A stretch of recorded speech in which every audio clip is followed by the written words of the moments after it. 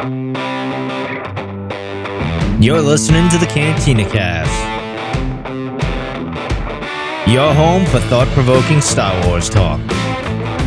Join Albert and Jonesy in breaking down the latest news, trailers, movies, and of course, your favorite characters from a galaxy far, far away.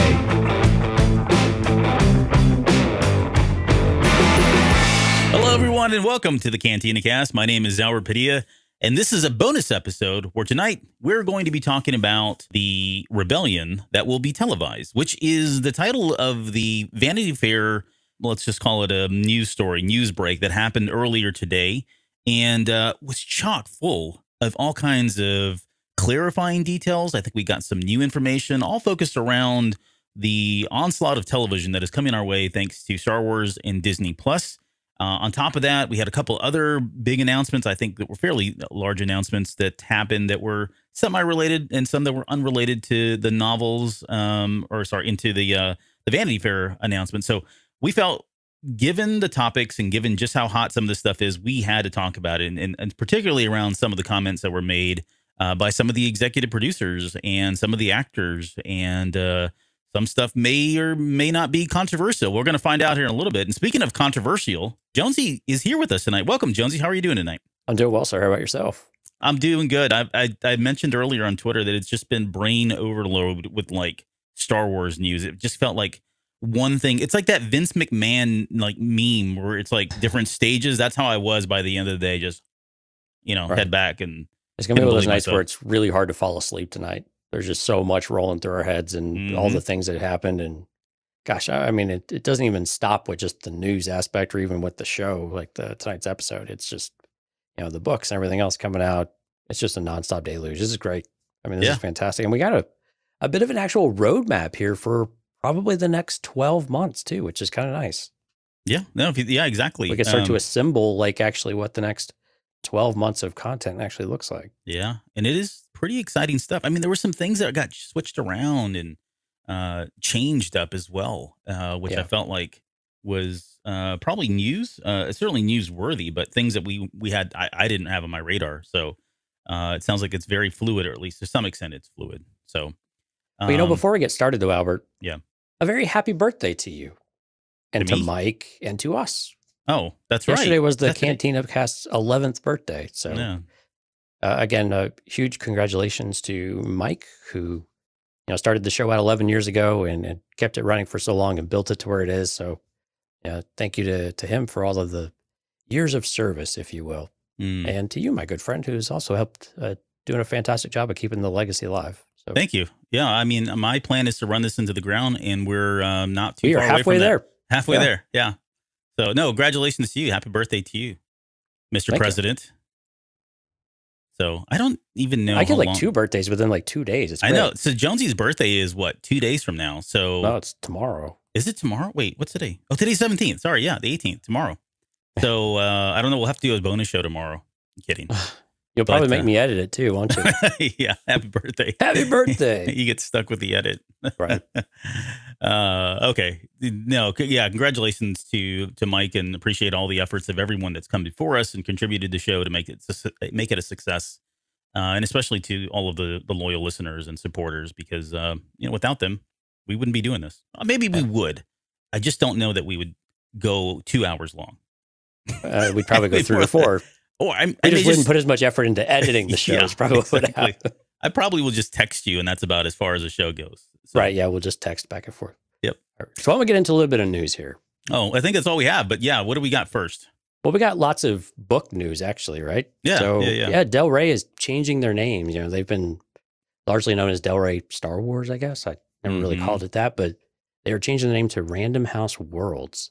So nothing really is changing. They're just kind of rebranding, you know, what they want, where they want to be. And I don't have the actual tweet. I had the tweet earlier about what uh, what Alyssa Hurwitz had out there, and they got a cool new logo. I think it's kind of nice. Looks yeah, it's World Between Worlds. No, I'm kidding. It's not. It's not even close. But It's very Star Wars ish, though. I think. I think so. I think they're trying to. I mean, it sounds like they're. I mean, Del Rey Star Wars is very specific. Random House Worlds allows them to branch out and pull in bo- books from all kinds of universes, worlds, multiverses, whatever, uh, under one title. Right? It's very. It's a clean way, clean approach. But beyond that, like you said, is if you read this whole thing, Uh, they even put an FAQ out, which I didn't really get into here, but for the most part, like really nothing is going to change right now. So that all makes sense to me. Kind of makes you wonder what else might be coming, though. That's, that's Yeah. prompting that kind of change, right? Yeah. Now, Random House is still going to stay the same, so that still is the parent company. So Yeah, Penguin Random. House still owns the world and Yeah. everything that, that goes around in it. So uh, really, nothing's changing. They might even change the. Uh, I, I think this will be the brand on the books, but as far as changing the website name or the social media and things like that, nothing is changing for a while at the very least. yeah, I'd imagine that stuff will get rebranded at some point, but Yeah. they're gonna they're gonna ease into that as most we companies won't would see do. the change on the books until 2023, I believe, is what they said. oh wow, yeah, Yeah, so it's still a little ways. I mean, they literally just announced it. and That's about it. Yeah. So they have uh, so within Like that division, Minecraft, Stranger Things. hmm Uh, Garfield. I don't know who's reading those books. Uh, Magic the Gathering. I don't even know what some of these are. Critical Role. I know. You know what Magic the Gathering is? Oh no, I know what that. I said Garfield. I didn't. Oh, Oh, well, I know What, You don't know what Garfield is either. Not. I don't know Lore Olympus. How about that one? All these other ones I know. What is Lore Olympus? I don't know. I- I'm sure we have a loyal listener out there that probably loves that series, whatever it might be. Yeah, and I'm not. There's no shade here. I just I'm not familiar with it. Yeah. So, but the point is, this allows them to house all of these various different titles across multiple IPs under one brand without coming up with specific uh, logos and all that. So Del Rey is going away. Uh, Dale's asking there in the chat, I think, but uh, but yeah, everything else stays the same. So that's cool. But on top of that, oh man, I made a I made a I did a bad thing today. So You certainly did because this book is not cheap. so they uh for anybody that's uh, uh n- hasn't been following out of print out of print does some really great books i think we've ordered a, a number of them now uh for the high republic and they've done other things and they, they carry more than star wars books but they have an exclusive license as does like goldsboro and Bran- uh Really a barnes and noble shop of all things. well it is but i mean it's i don't know they it is a t-shirt shop and they have some pretty cool t-shirts uh and not too i mean comparatively speaking they're not much more price than some of the other ones to be honest right Right. uh, but they went all out on Thrawn Ascendancy Book Three, and I'm, I pulled up the front of the cover here. Uh, this went on sale today, I think at 10 a.m. If I'm not mistaken, you can see it there. I mean, it's got like a, it's got a what, hard jacket that it's you know, sleeve or whatever that slides into a bookcase, if you will. Uh, it's got like the gold foil, but it's red foil. It's got the gold on the on the actual pages. Right. It's like it's like beautiful like Bible gold plated edges. Like you would see in a Bible. Like, Yeah, It's just nice and shiny. This is a beautiful book. I mean, they got the nice book three printing on the hard on the uh, case to it, the sleeve. hmm Um, the inside's got the book plate, the blue book plate Nice that's blue, signed. Yeah, it's kind of cool. And then then they it wasn't even- red, but still, it's so Ah, neat. true.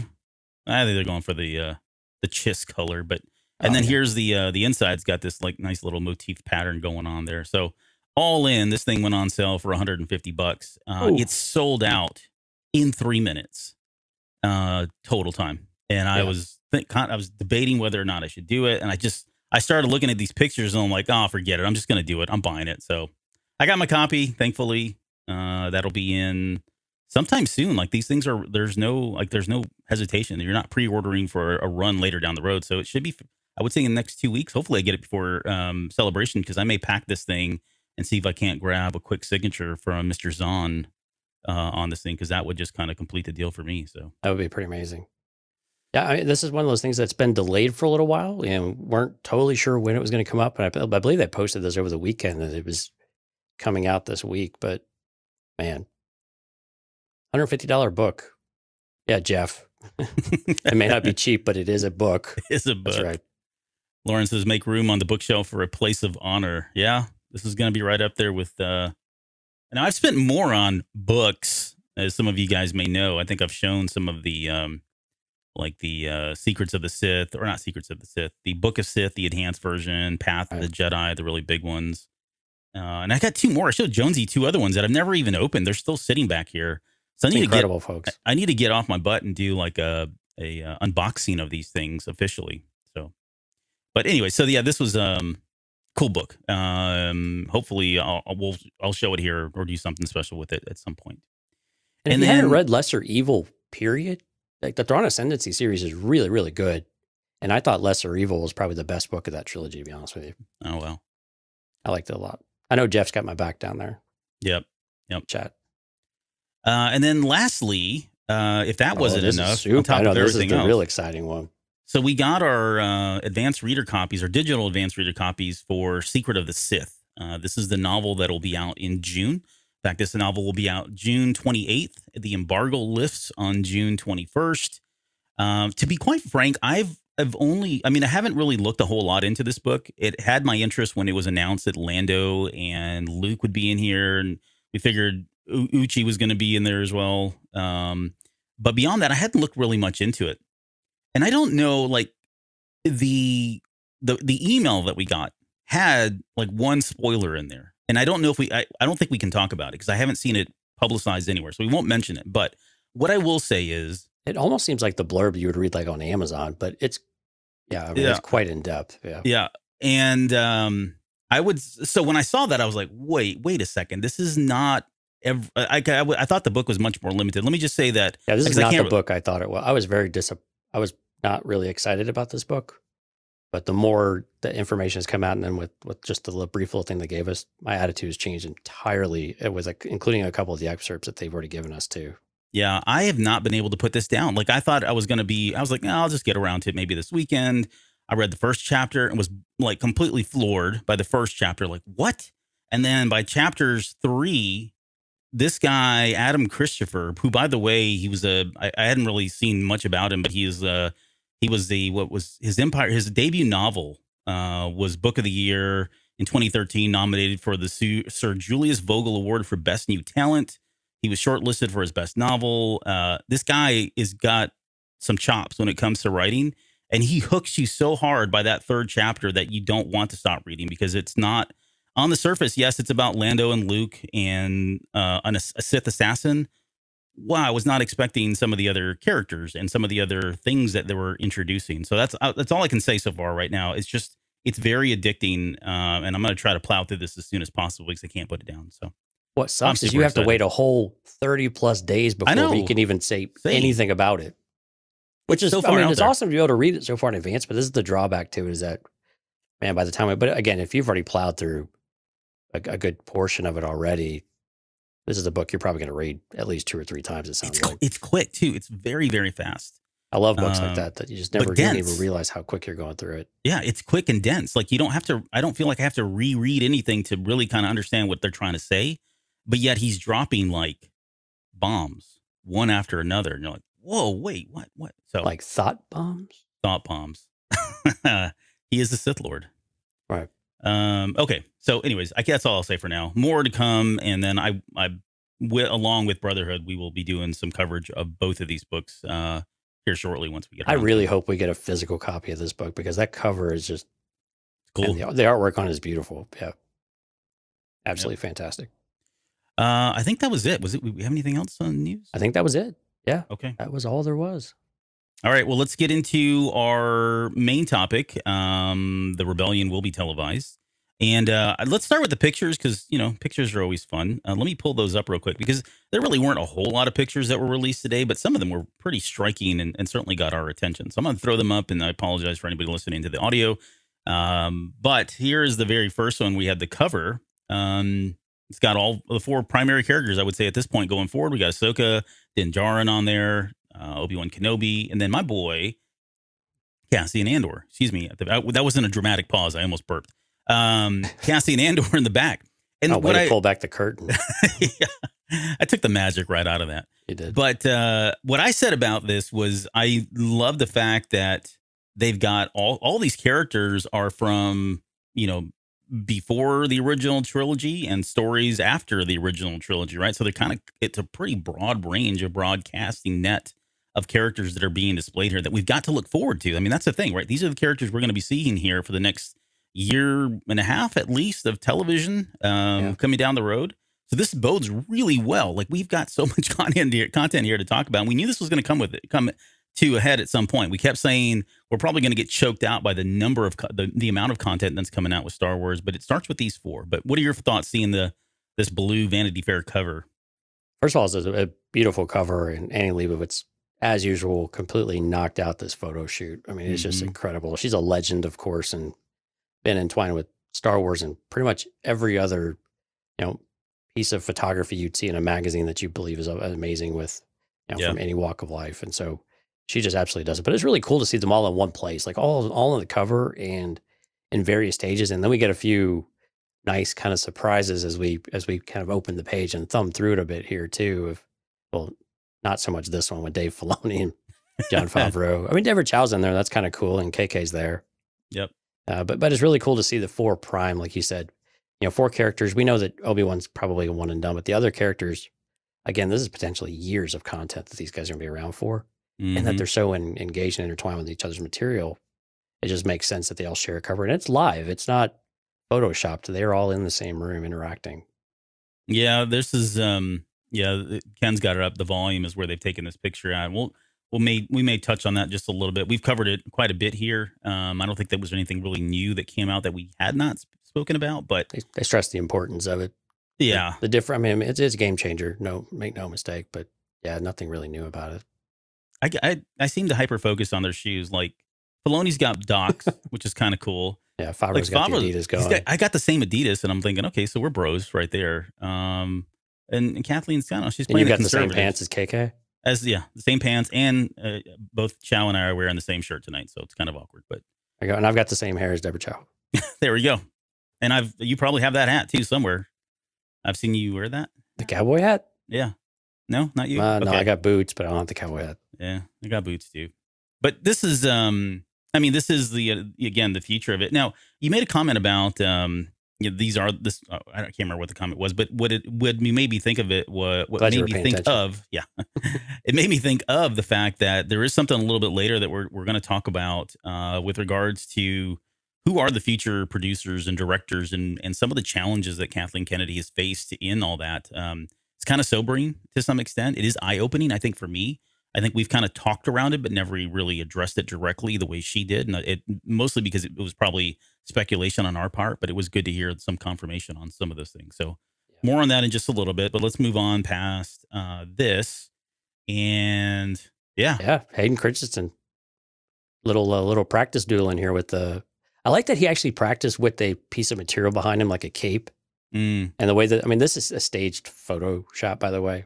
This isn't them actually like super practicing and whatnot, but and this is a oh a Ewan McGregor stunt double, so it's not really Ewan over there on the left, but it's very much Hayden Christensen though. yeah. It looks like they have fans too. So I mean, the fans were probably brought in to blow the cape while he was stepping Yeah. forward. So it's a Um, very striking like image though. I mean, again, oh, nice! just- I like to see what you did there. Striking image. see, yeah, yeah.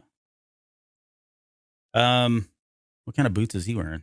oh, he's just Uh, using combat boots, yeah, Yeah. barely laced. So this is uh this is good stuff. I mean, it's always good to see him doing anything. Uh and man, his uh his interviews have been really touching lately too. I don't know if anybody's been following all they're on the uh, the press tour right now for Kenobi. And uh, he, you know, the same questions keep coming up for him. And we we probably should have added something like this in the notes. Maybe we can just talk about it now, but it just it's very uh it's it's very touching again to see how much people are starting to really appreciate the prequels and I really at some point need to just talk about this, and I don't know if we do it on a show or I just go on a rant. Uh, but I've got a lot to say about the hate that came during the prequels and how most of those people now, like some of the people I know, hated the prequels, are about as two faced as you can possibly be, and I just it's just it bothers me. So because a lot of these people didn't deserve what they got in terms of you know Hayden Christensen and and even Jake Lloyd. Um, I mean, know, even about- Ewan McGregor to an extent, right? Oh. I mean, Ewan McGregor has stated recently that after the first movie, after episode one, he didn't really want to come back and do it. But when you're under contract, you're under contract. yeah, they, I mean they had to, right? Uh, but I mean he the was very worst, disappointed with the with the way it was received. Yeah, And, and the worst, I mean, we're not even, I, I would say Hayden and Jake were probably up there, but Ahmed Best. I mean, Oh, this guy was about ready Yeah. to kill himself. And there's uh, an interview out there where he was talking about how he took a oh, picture. last celebration, it was very much front and center with Ahmed Best. Yeah, yeah. He went out a took a powerful picture, story. took a picture of uh, himself with his son, thinking that was going to be the last picture he took because he was going to jump off a bridge at that point. Um, so it just kind of shows you what uh, what this fandom, like the the the horrible people that do exist in this fandom, and they are out there. They're already at it. Like uh, not I um, one of the forums that I follow, someone wouldn't took a picture, uh, like a pen, and they made a red mark over Kathleen Kennedy and then reposted and said, "There, I fixed it." And then some they used the B word on her and some other stuff. And I said, "Wow, you know." The only thing I said was, "Wow."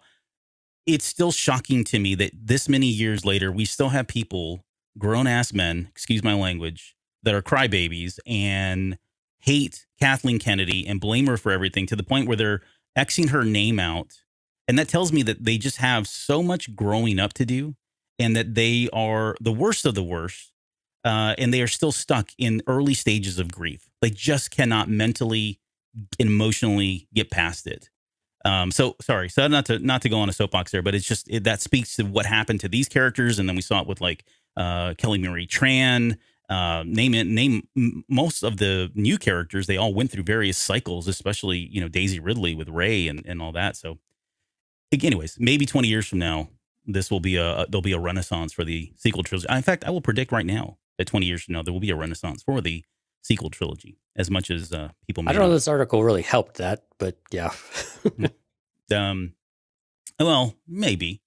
Uh, I think again, I think just a, a brief mention of that if you're going to give people the criticism, you have to give them the, you have to be fair about it. And you have to, I mean, I say this like I'm a reasonable person, you know, but you have to give them the credit when they do something right.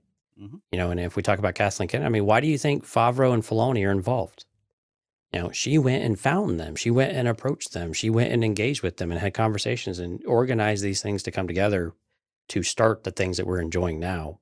And this article did paint a few things in a, in a newer light for me as well some which I wasn't as thrilled about, at least maybe how it was put, but at the same time, also gave some better context. I think you were leading in with some of this of of a new appreciation of how these things come together and kind of the timing of when all that happens too, and and what goes in that. And we'll talk a little bit more as we as we go on here about the the hiatus and whatnot. Yeah, here's uh, the next picture we have is um, uh, Jon Favreau holding the child, aka Baby Yoda, aka you know who you know who. I like the, the article. They called it the pistachio colored. I was like, wow, yeah. that's different. Yeah.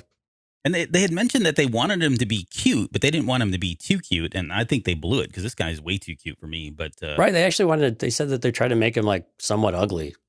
Like, well, you failed miserably. Yeah. Yep. We should criticize you on the internet. yeah, exactly. We're gonna criticize. You made him too cute. Too cute. It's like an Ewok. So yeah, um, they they did talk about the because uh, we're not going to talk about this when we get down to the other part of it, but just that uh, you know Filoni was really skeptical about whether or not oh, he did not he was going to work. Yeah, like he was. I mean, he comes from the Lucas mind of we don't touch Yoda, we don't talk about Yoda, right? It's just right. He's he's sacred, and Favreau was really wanting to push forward with this, and so he you know finally he jumped in. I mean, it was a healthy debate. They got through it, and uh, you know we know now that this was a success. I mean, this is a global phenomenon. So, well, again, they both got on the same page that Favreau respects that position too. Of look, I don't want to peel back the curtain and give everybody all the information. I think that was what was most important to Filoni was, and again, he was trying to also weigh how would fans react to this because it is a holy character in so many different ways, you know, both figuratively and literally. Mm. And for you to tread on any of that is very dangerous territory. And I think Filoni was, you know, very representative of that beyond what how George Lucas viewed the, uh, you know, the, the character. But I think the way they did it, they really didn't give you a whole lot of extra context. Yeah. You know, but it makes sense that there's another one in the galaxy, though. Yep. Why would there not be? Right. And now, this uh, was cool. That's got to be Hayden in the Vader costume, right? It is. Yep. Yep. Yeah. That was confirmed in the uh, BTS stuff that was released, but that is definitely uh, Hayden Christensen. He doesn't look as tall as I would expect him to, but I'm not going to harp on that. Whatever. Um, because Vader's supposed to be like over seven feet tall. Maybe he is. Maybe you. Maybe I can't remember how how tall, um, Ewan McGregor is. I think he's like six feet. Maybe. Uh, I think I don't. Uh, maybe, but I mean, Hayden Christensen's taller than you and than Ewan is. Yeah. And so I yeah. imagine with the boots and the the helmet. Again, this is tough because perspective is a little right. bit off, but yeah. Yeah. Um, yep. So we got that. Um, I'm glad Reva's getting some FaceTime here too. She wasn't really mentioned a whole lot, but I was glad that she's in the article again. It just continues to cement her importance in the series coming up. Man, I saw her interviews have been really great. Uh, Moses Ingram, um, she, again on that press tour. I've seen her on a couple different interviews, and she looks like she's just having the time of her life. Uh, and I didn't even realize that she was in the Netflix series um, for I forget what it was called now. Um, Queen's Gambit. Queen's Gambit. Thank you. Yeah, Yep. that chess one, which was amazing. I really enjoyed that that series, but uh, I didn't realize that was her. Um, she looks completely obviously because she's got different hairstyle going on here, but um, yeah, I'm pretty excited about her character. It does sound like she is going to be a more formative figure than just a side character. And again, like we like we predicted, maybe she taps out around episode three or four, like most probably will at that point for the most part. Um, but does sound like she's going to be up in center, uh, front and center here for the first couple, at least, if not three episodes. So excited. And then the last picture, um, we've got Mon Mothma played Yeah, by my mop was getting all the thirst online today. there are people like stan accounts going up left and right right now. So, um, uh, Genevieve uh, O'Reilly or Je- what's her last name? Why is oh my O'Reilly? gosh. Yeah, I can't remember her last name. Genevieve, Genevieve, Genevieve. She was the one in Rogue One, but I, I can't remember Right. her last name. Um, of course, Cassian Andor, played by Diego Luna, and uh, Pedro Pascal, um, and Ahsoka. Yeah, Rosario Dawson. Yeah. Yep. Well, and and Ewan confirmed that uh, Mary Elizabeth Winstead is going to be in Ahsoka as well. Oh yeah, his partner, not wife, but partner. I think they secretly got married though, Did they? didn't they? Well, they just had a kid. I don't know. Well, Thought I heard that they recently they got secretly married too. he referred to her as my partner in the interview. Um, But but who knows when the interview actually took place? They, they literally. I think, if they got married, I think it was literally just in the last couple of weeks. Oh, so some of the well, why don't we? Tra- any any other thoughts before we transition to the the interview and No. anything on the pictures? We're getting some clarity here. Hayden is about six two. Ewan's about five ten. So Okay. yeah, it's a big difference. Thanks, Dale.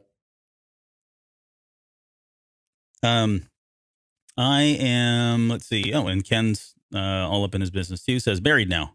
Yeah. So Just in the last few we, we had everything covered. Everything is covered. Yeah. Well, so the interview um, was done in parts of it were done in March of this year. So maybe during that line when he was captured as saying my partner, uh, they were not officially married just yet. So uh, some of it was in March, some of it was pretty recent. It was just kind of a conglomerate of things, and this did get cleared up in another set of news that was released this, this afternoon around 3 p.m. But we'll more on that here. I love how bit. Jeff's calling me out. It's not a secret marriage if Jonesy knows. That's true. That is that is hundred percent true. I'm Yep. usually one of the last to know almost everything. Yeah, that's probably true as well. Uh, okay, so do you let's let me just I don't know there's really I'm gonna roll this. Um, there's really not a whole lot to, to talk about here, but I just thought it'd be fun to show the BTS stuff with Annie Leibovitz. Uh, there was no big kind of uh you know, Fun to see if gotta get a takedown of us. Let me turn this down.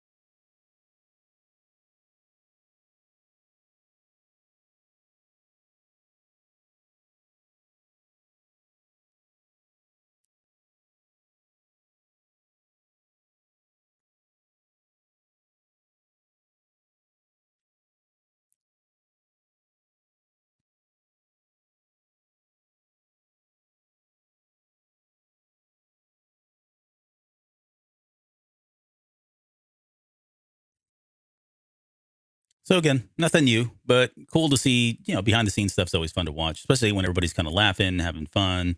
I don't know if he caught like Diego Luna was, or no, it was Pedro Pascal was kind of dancing at one point in the background and uh, just cutting up and getting hanging loose. So fun stuff. And I think that's one of the interesting parts of the article. I'm glad you mentioned fun because Kathleen Kennedy talks about that, where you know the movies when they were making the movies, it seemed like they had lost that spark. Hmm You know, they were churning movies out every year. I mean, we were you know we, we had talked about this way back when, and other guys did before us. Of you know, is it is it overload? Is it too much? And you know, I think that they did start to see that it, it really wore on their psyche. And so what they're trying to do now is really re make sure that even though these are stressful and they take a lot of work, a lot of effort, make sure that the fun is still there and it comes across because when you are having fun, it, it does come across into the work and it can be the difference between a good show and a great show. Yeah. And so I think that's really something important that you know, they, they identify. Those are the small things that can really make a huge difference. Yeah, I think so. I think you're 100% right. I think some of that does bleed onto the screen, even though we want to think of those folks as professionals, somewhere that tone um, can seep in. Um, and we've seen that affect all kinds of movies and TV shows in the past. So it's not just pure conjecture on our part. I think that's pretty well documented. That is a possibility. So, um, okay, well let's let's talk about um, the different pieces of this article. Now, this article really kind of covered a lot of the all the shows that we know that are coming out. Um, it did mention one show without a title a little bit later that we'll we'll discuss, but for the most part, I guess this was a lot more clarification on things. Um, and kind of where I wanted to start was, I think we got some pretty solid confirmations about what the uh, genesis of all of this was, and it really kind of harks back to Underworld.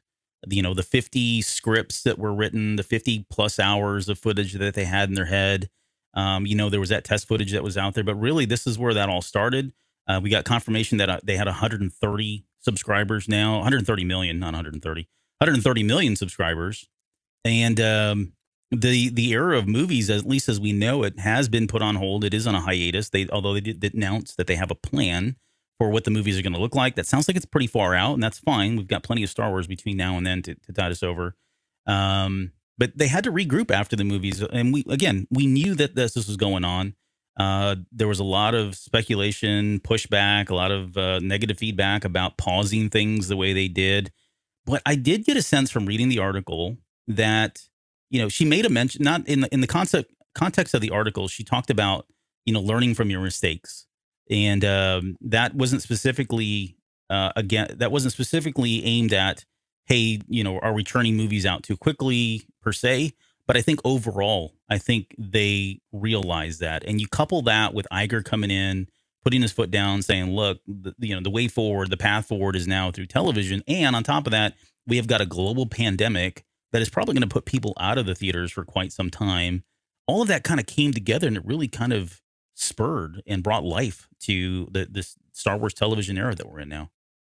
Right. And I think, and Kathleen Kennedy had a really good summary of that is that George Lucas wanted i mean he grew up on the serial television the cliffhangers right the flash gordons all of this is all so well documented and television you know television really fits that that serialized episodic storytelling type of thing and so it was really important that they they they find a avenue back to that you know to try to capture that spirit of star wars i think in particular and i think it's really important for them to understand that I'll just use her words here that, that she had put it in, uh, put in her, uh, you know, we needed to all work together to create the architecture for where we were going. And this requires a three, four, five year commitment. You know, you can't step in, do it for a year or so and jump out. It really is, it works best. I mean, you can, but it works best if you have commitments and you have a longer term commitment that you can. And if we look at like Kevin Feige and some of the people they've had involved in the Marvel side, like we were talking about last week in our Patreon episode, you know, those types of things important because you get that consistency, you get that, you know, that that overall vision, that that umbrella strategy that that really makes everything fit together. You know, and yeah, sure things are not going to work out here and there, but if you still have a direction you're going, and you're right with the pandemic, Bob Iger's you know investment into Disney Plus and getting that stood up as quickly as possible and being okay with taking the loss you know, early on has paid huge dividends and I think has really saved Star Wars, I think, in many regards from the path that it was going, where it seemed like more of a cash cow than an actual investment uh, type of franchise. They were just mm-hmm. trying to milk it for what it had and wringing, you know, wringing the cloth rather than actually investing in it and helping build it and making it grow. Yeah. And, and so I'm happy that they've made, they've, they've seemingly learned lessons from that. I, am I'm glad she mentioned some of those things. And uh, now, granted, some of the comments were a little bit mixed with some other things in there too that we'll talk about. But Uh, I'm really happy that we've seen this turn around. And I think for Kathleen Kennedy to to admit that, though, I think is a really big thing. And I think when you when you criticize someone like Kathleen Kennedy for where she's, you know, for for the some of the things that people don't like with the sequel trilogy in particular, you know, these are the things that she's recognizing. And as a leader, as the president of the company, you have to step in and do something and you don't always notice this right away and sometimes like we're seeing here it takes years for that strategy and for that vision to really take root to where you can look back for the last year year and a half and say wow we've really got a lot of good stuff Yeah. who knew we were on this path if we didn't have these, these moments of you know disappointment you know to Mhm. really learn from and grow from I the the part that was kind of eye opening for me, there was a lot of criticism coming from Lucasfilm uh, and Disney, particularly at Kathleen Kennedy for the number of directors and producers and writers that were kind of rolling. They roll in and roll right back out, right? Yeah. And uh, it, it wasn't in this interview, but uh, and I, I sh- I should mention so. The, the what happened is that so we had this early this morning around 9 a.m. Central Time I think is when that this all this kind of broke and uh, it was just a flood of information. It was all, I mean, it was all the chatter. And then uh, Anthony Breznican and Adam Lance Garcia, who are both writers at Vanity Fair, posted something saying, "Hey, later today at 3 p.m. we've got even more." And that turned into something they were calling uh, "Beyond the Cover Page," I think is what it was called. I mean, I probably have the title wrong, uh, but nonetheless, it was a an extension of this. It was almost like Breznican would do the same thing when he was over at Entertainment Weekly, where he would make this quick announcement like this, and then there was a couple of videos that followed that teased up a number of things and expanded upon it with you know expanded upon some of these bullets with more clarity. And this is one of the ones that was expanded upon, and that was that they were rolling through a lot of these directors, and because it is a commitment, right? It like you said, it is a four to six year commitment. Kathleen in that part of the interview said it could be up to ten years that some of this stuff that they're that they're Wow. locked in for. So if you think about it from that perspective, bringing in directors and producers, especially if they're really hot, people want them on different projects and they want to explore different projects, right? I mean, that's you know, I think that what the comment that was made that these guys only have so many years that they're really kind of you know focused on and people hold them in high high regard and high light right? Unless you're one of the great all-time folks that just keep doing movies. And so they've got to be really picky and they've got to be really they have to ch- pick and choose what they want to do. And, and signing up for a six to ten year commitment that's major that's huge. That extends into the the producers it extends into staff it extends into the actors themselves. And it Uh, you- controls your life. I mean, and Diego Luna made a, a comment similar to that about, wow, I've got to uproot my life in a completely different country, Mhm. you know, for a huge amount of time. When I, my, that's not where my family is. That's where my, not where my life is. Yeah. You know, when he had to go do this uh, or in London when he's in Mexico. Yeah, so so this commitment isn't the only factor that uh, plays into whether or not these directors come on and stay on, but it is one of the contributing factors. And and depending on who it is and what they want and all that, um, it could be a major contributing factor to it. So, um, so I, again, not uh, not to excuse anything. I think they they probably again lessons learned in some of that for them, but they are at least acknowledging now that this is what it's going to take. And so when you think about the next movie that's coming out, like it's going to be Taika Waititi's movie, which I thought was interesting that they announced that officially. Uh, that was that was going to be the next movie, and she mentioned Jon Favreau and that Jon Favreau has like cleared his schedule. Like when the Mandalorian started and said, "This is all it. I'm in. I'm com- I'm completely committing myself to this," and that has been a blessing because without that, think about it. Without that, we've not maybe you know season two of Mandalorian may not be as good as it was, or we may not have gotten the Book of Boba Fett in that kind of uh, format, or may have gone a different way. But having that consistency there has really been crucial for somebody like maybe Dave Filoni to bounce ideas off of, or Kathleen Kennedy. Right? You have a team that's committed. Uh, if I could use a sports analogy, it's like you get a good group of people together for one good season, and then suddenly everybody goes off and signs free agency because they all became popular and they leave the team. It's essentially what's exactly what kind of happens there. You lose that core structure, and you're sometimes you get put on your heels trying to figure out how do we replace these folks? How do we bring back the magic? And how do we, you know how do we retain these people? Um, so all of those challenges play into it. Now for us, all we see is oh, they just keep turning over producers and turning over writers and directors, and boy, they can't get their crap together. And that's a little bit more nuanced than that. Is all I'm saying. Any other? Uh, you have any other thoughts on this before we move roll into the? I'm just wondering when we're going to rip the band aid off of Solo. Oh, we could talk about Solo now. Um, So one of them, I mean, it fits with the you know with the lessons learned, right? Because I think that was the they they framed the lessons learned within the context of re of uh, both the you know what do you do with the original cast members, you know who who you'd love to bring into the, the movies and to the material, but they're you know, quite a bit older than what you're, what you would be doing in this material, and that we've seen how deep fake works, and we've seen these other things, but also the the challenges you can have recasting. Now, the issue I had with this com or the way that it was, I don't know if it was actually how Kathleen Kennedy said it, or maybe it's how Breznican structured this. But it really did seem, and a lot of people online have taken it this way. So I'm not alone in at least having an inkling about this. We could think critically about this, though, is that it seemed like a slight at Solo, you know, and maybe in particular at Alden Ehrenreich with, with the performance of, you know, trying to replace Han or Harrison Ford, right, as Han Solo. It's huge shoes to fill and and all of that. So there's been a huge outpouring of support for, you know, for Solo. And of course, a lot of hashtag make Solo 2 happen. But you know, did you take it as a, a bit of a, a dig at Solo? Of, of that's why it wasn't financially successful.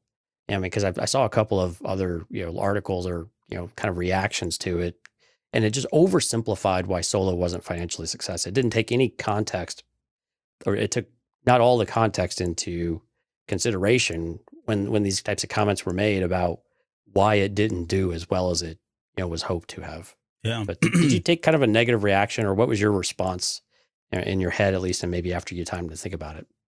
So initially, yes, but this is one of the clarifying. They spend about probably five minutes clarifying the context of this interview, and particularly this question in the bonus uh, stuff. So that is uh, that was in total about an hour long, um, and the, this question came up directly from somebody in the audience, and basically said, "Hey."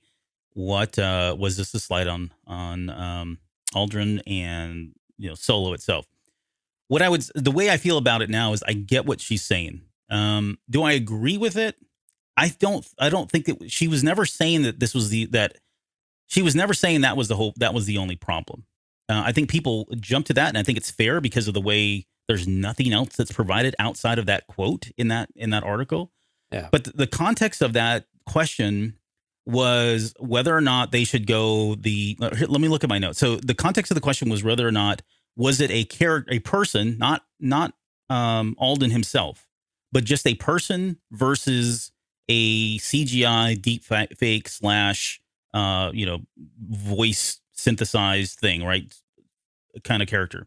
Yeah. And the distinguishing factor with her in the context of that conversation was what she was saying is if it's a character that's going to come on and do a cameo appearance like a Luke Skywalker in the Book of Boba Fett. They felt like deepfake right now, based on the technology, deepfake tech tech is the way to go. They wouldn't recast somebody for something like that physically going forward. With the with Solo, she says that uh, had they done that again, because it was a longer piece of it, they probably would have brought another actor in. So it wasn't again feedback at him. They don't i guess what the part that i did have a problem with the conflict that i have is when they started bringing up questions about like what about lando?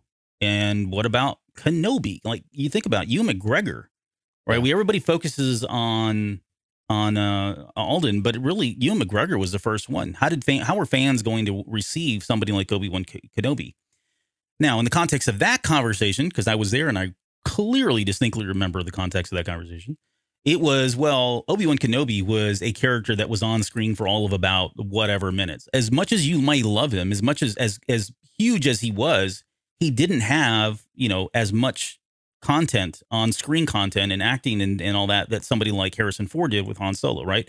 So is it an apples to apples? I don't know. Maybe it is, maybe it isn't. Um, but I he did stress over and over again that there wasn't any shade being he never picked up any sense of shade being thrown at Solo the movie, the directors, especially not the actor uh, for for what he did. Um, but I, I would say this: the way I would summarize, it wasn't clear to me when they would and when they would not use it. I feel like they're leaning more towards uh, doing more deep fake stuff and not casting actors because of the feedback and because they feel like they can get a more um, a better characterization by doing that than having an actor do it. What's that? more authentic, I guess. Yeah, I, I, authentic sounds like. I mean that authentic. It's it's it's a it's a good word, but then the, you think of the inverse of that being as like fake, right, or non-authentic, and that seems like a slight towards the actors themselves. Uh, I had a I can't. There well, was a good something word you have more. Head, con- well, I, I use authentic because it's more something you have you have a direct control over. Yeah. You you you have a lot more I don't want to say flexibility, but you have a lot more direct input on the performance itself if you're really synthesizing 80% of it, you know, Mhm. except the physical person making the mannerisms, and that's about it. Because I mean, even the voice is now, you know, somewhat overlaid and synthesized. So Yeah. uh, I don't. I, I mean, I, I kind of get where that's all at. The words in the article certainly suggest something else. You know, when, when they make a comment of, you know, the film has its admirers, but it made less at the box office than any other live action Star Wars movie. Solo swagger may be too singular for another actor to replicate. But that know, is is that Anthony saying that or or That's Breznican saying that. And then he yeah. goes into the Kennedy quote there should be moments along the way where you learn things. Now it does seem so abundantly clear that we can't do that, whatever that might be referencing, right? Mhm. So it, it's just maybe it's the way that paragraph is assembled. You know, it, it's I don't I like uh, and Jeff's making a great contact here or, cont- or a comment here about context. You have to understand context. It- It's so important. If Brotherhood has taught me anything, it's about context. lately with uh, with reading Mike Chen's book, but you have to keep context into perspective. But writing an article where you just kind of jump into it, lay a bit of a bomb, and then jump out of it, it's easy to really take all the context out of that and get the reaction we had today. When I got to be honest, I don't mind recasting actors, especially if it's a different stage of that air, of that actor's life, especially if you're having to go back in time. And I think this was far back enough to where you know Ehrenreich's performance was, I thought, as good as you could expect and hope, and I thought captured the character very well for a character that was you know several many years before the character we saw on screen in 1977. Yeah, That's me. the, I'll, I'll um, get off my soapbox about it, but it was, it's a bit irritating when we continue to go back and revisit some of this stuff. Although I know it's a hot button topic and it is important to understand where they're coming at from it. on it. Yeah. So the context of that, I don't know if this was in. I have this in my notes from the the extended interview or the commentary, but um, it says we can't do something with Luke Skywalker without Mark Hamill. We're not going to suddenly do that. So that's the context of that. We're not going to suddenly do that. But they basically have. Hamill is there in person ish, but really they're doing it without Mark Hamill. So I don't the the the, the comment just seems like it's a bit inaccurate to my you know, perspective. We we can move on from all of this, I, but it's just a it's an interesting debate.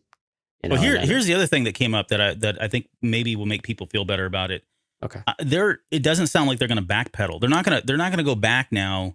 Let's and the example that was used was okay. So let's say they move forward with Lando, right? Although something else that came up in this in that post interview was Lando is not like Donald Glover is not officially confirmed anywhere, right? This is purely speculation that he would be back. Well, they Donald use this- Glover saying it on the But there's Show. nothing. So in that, yeah, exactly. But in this interview, she is saying they have no contract with him right now. Right. She's on record as saying that. So yes, maybe he is coming back. Well, that's not the point. The point is, Yeah. if they did bring him back, and you've got to assume that with a Lando, you're probably going to have a Han Solo.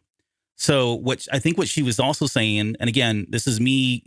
uh, Listen to it to your for yourself. Um, and by the way, the inter one of the th- articles that's going to be coming out over the next seven days is an extended, more contextual interview with Kathleen Kennedy.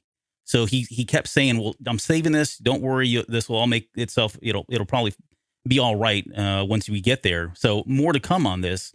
But the way I was kind of um, the way I was capsulating what he was saying was they're not going to go back and do a CGI deep fake of Harrison Ford and put that up against the character of Donald or Donald Glover's portrayal of Lando Calrissian, right? yeah, that that would be a slap in the face. Yeah, he's in it. Like they're not going to go back. It's all they're talking about is moving forward, given the where the technology is going, how fast it's growing. That is the path forward, rather than trying to recast and get into sticky situations where people, you know, have this. It's like you said, they you can we'll just create it. I mean, I know it sounds controversial, maybe, or it sounds unorthodox, but as as much as that is, it was the same scenario that we had back in you know 1999 with CGI backgrounds, and look at all the flack George Lucas was getting about making fake movies, and all these aren't real movies because you don't have backgrounds and you're just using green Right. screen everywhere, and that's not real movie making. And you know, look where that's got us now. It's all we do. That is the I future. mean, yeah, even Ewan McGregor had a lot of comments to say about it. Yeah, recently as well. So we'll see. I mean, again, I don't. There wasn't was there wasn't a clear indicator or a clear needle that said this is when or and we're going to do it. This is when we're not going to do it. It just sounds Yeah. like the path forward is from now on. Any opportunity that we get, we're we're going to do the CGI deep fake, and I'm I'm happy with that. Like I think Jeff said too. Like in whatever format we get a a, a new uh, story of Han Solo or any of the characters, I'm I'm in. I mean, that's fine. Yeah. Um.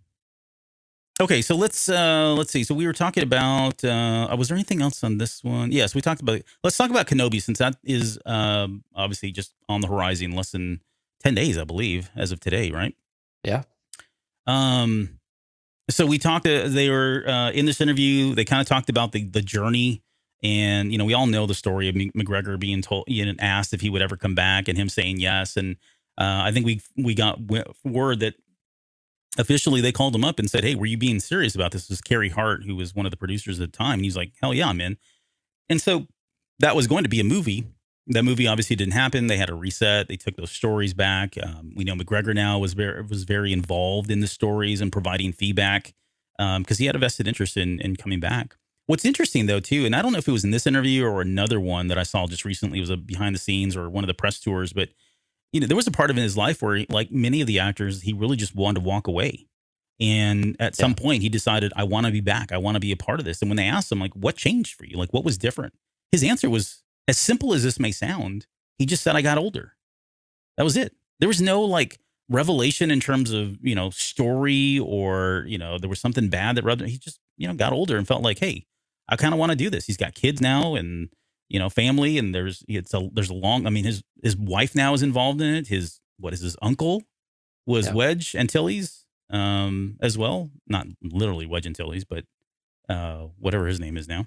Uh, but yeah, so for him, it was just you know it was the right time. Um, so yeah, I mean, distance and time really do heal a lot of wounds, right? Yeah. That nostalgic thing is really forever. Everyone has a, some sort of sense of nostalgia in some way or form, and I think, I, I think some of it though is also the you know the people. I think he mentioned this, and we've seen this uh, for Hayden as well, and the people who grew up with those movies, and you and I have talked about this extensively. mm, Those are the people who really get you reinvigorated and, re-energized for it. That, yeah, for all the BS you took and all the criticism and the critique, you know, from critics and fans and whatever, the people who the films were for absolutely adore them.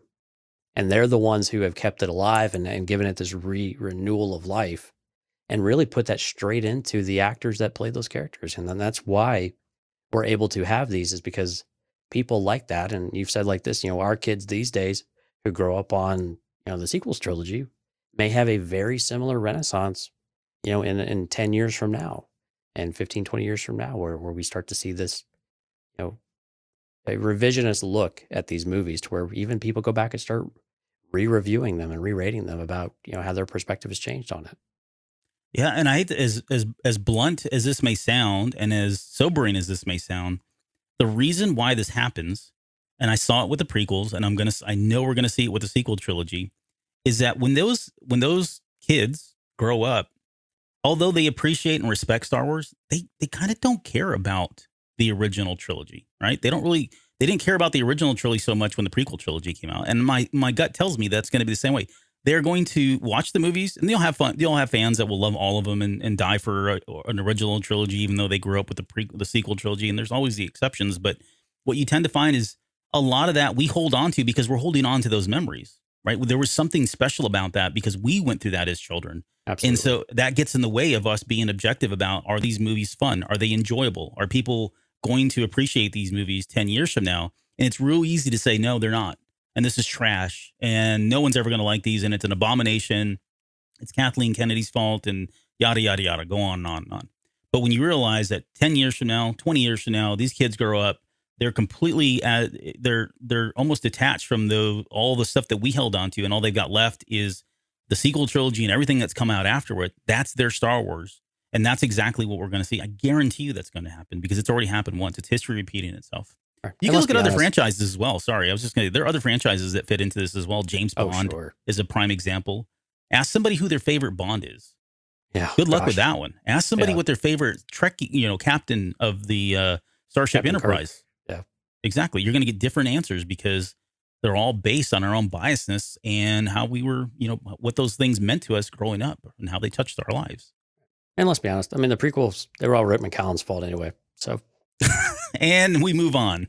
I'm kidding. No, I'm not. Albert told me to say it. No. But no, so I think, uh, but kind of back to the story though, I think Ewan really, I always like it when they, they bring forward uh, the perspective of the character that they're wanting to portray and write the story and how they mentally, you know, visualize where the character's at. And so with Obi-Wan, you know, Ewan said, I think it would be, it should be a story about a broken man, a man who's lost his faith Mm. He's always he always has a funny line to say, or always seems to be calm and is a good warrior or soldier or whatever. But to see that man come apart and to see what gets him back together again, that's where we started. That's and again, I think that was more with the when they were still planning the movie. But I think that perspective still, you know, that that pervades it. That it constant all the way through the material here. And I think even when we see a and hear a line like, you know, you know, the, the boy must be trained. Like when the time comes, the boy must be trained. When you have you know, text context like that, or when you have a, a script like that, within that context, you can start to see why those types of things. That's where it's all starting from.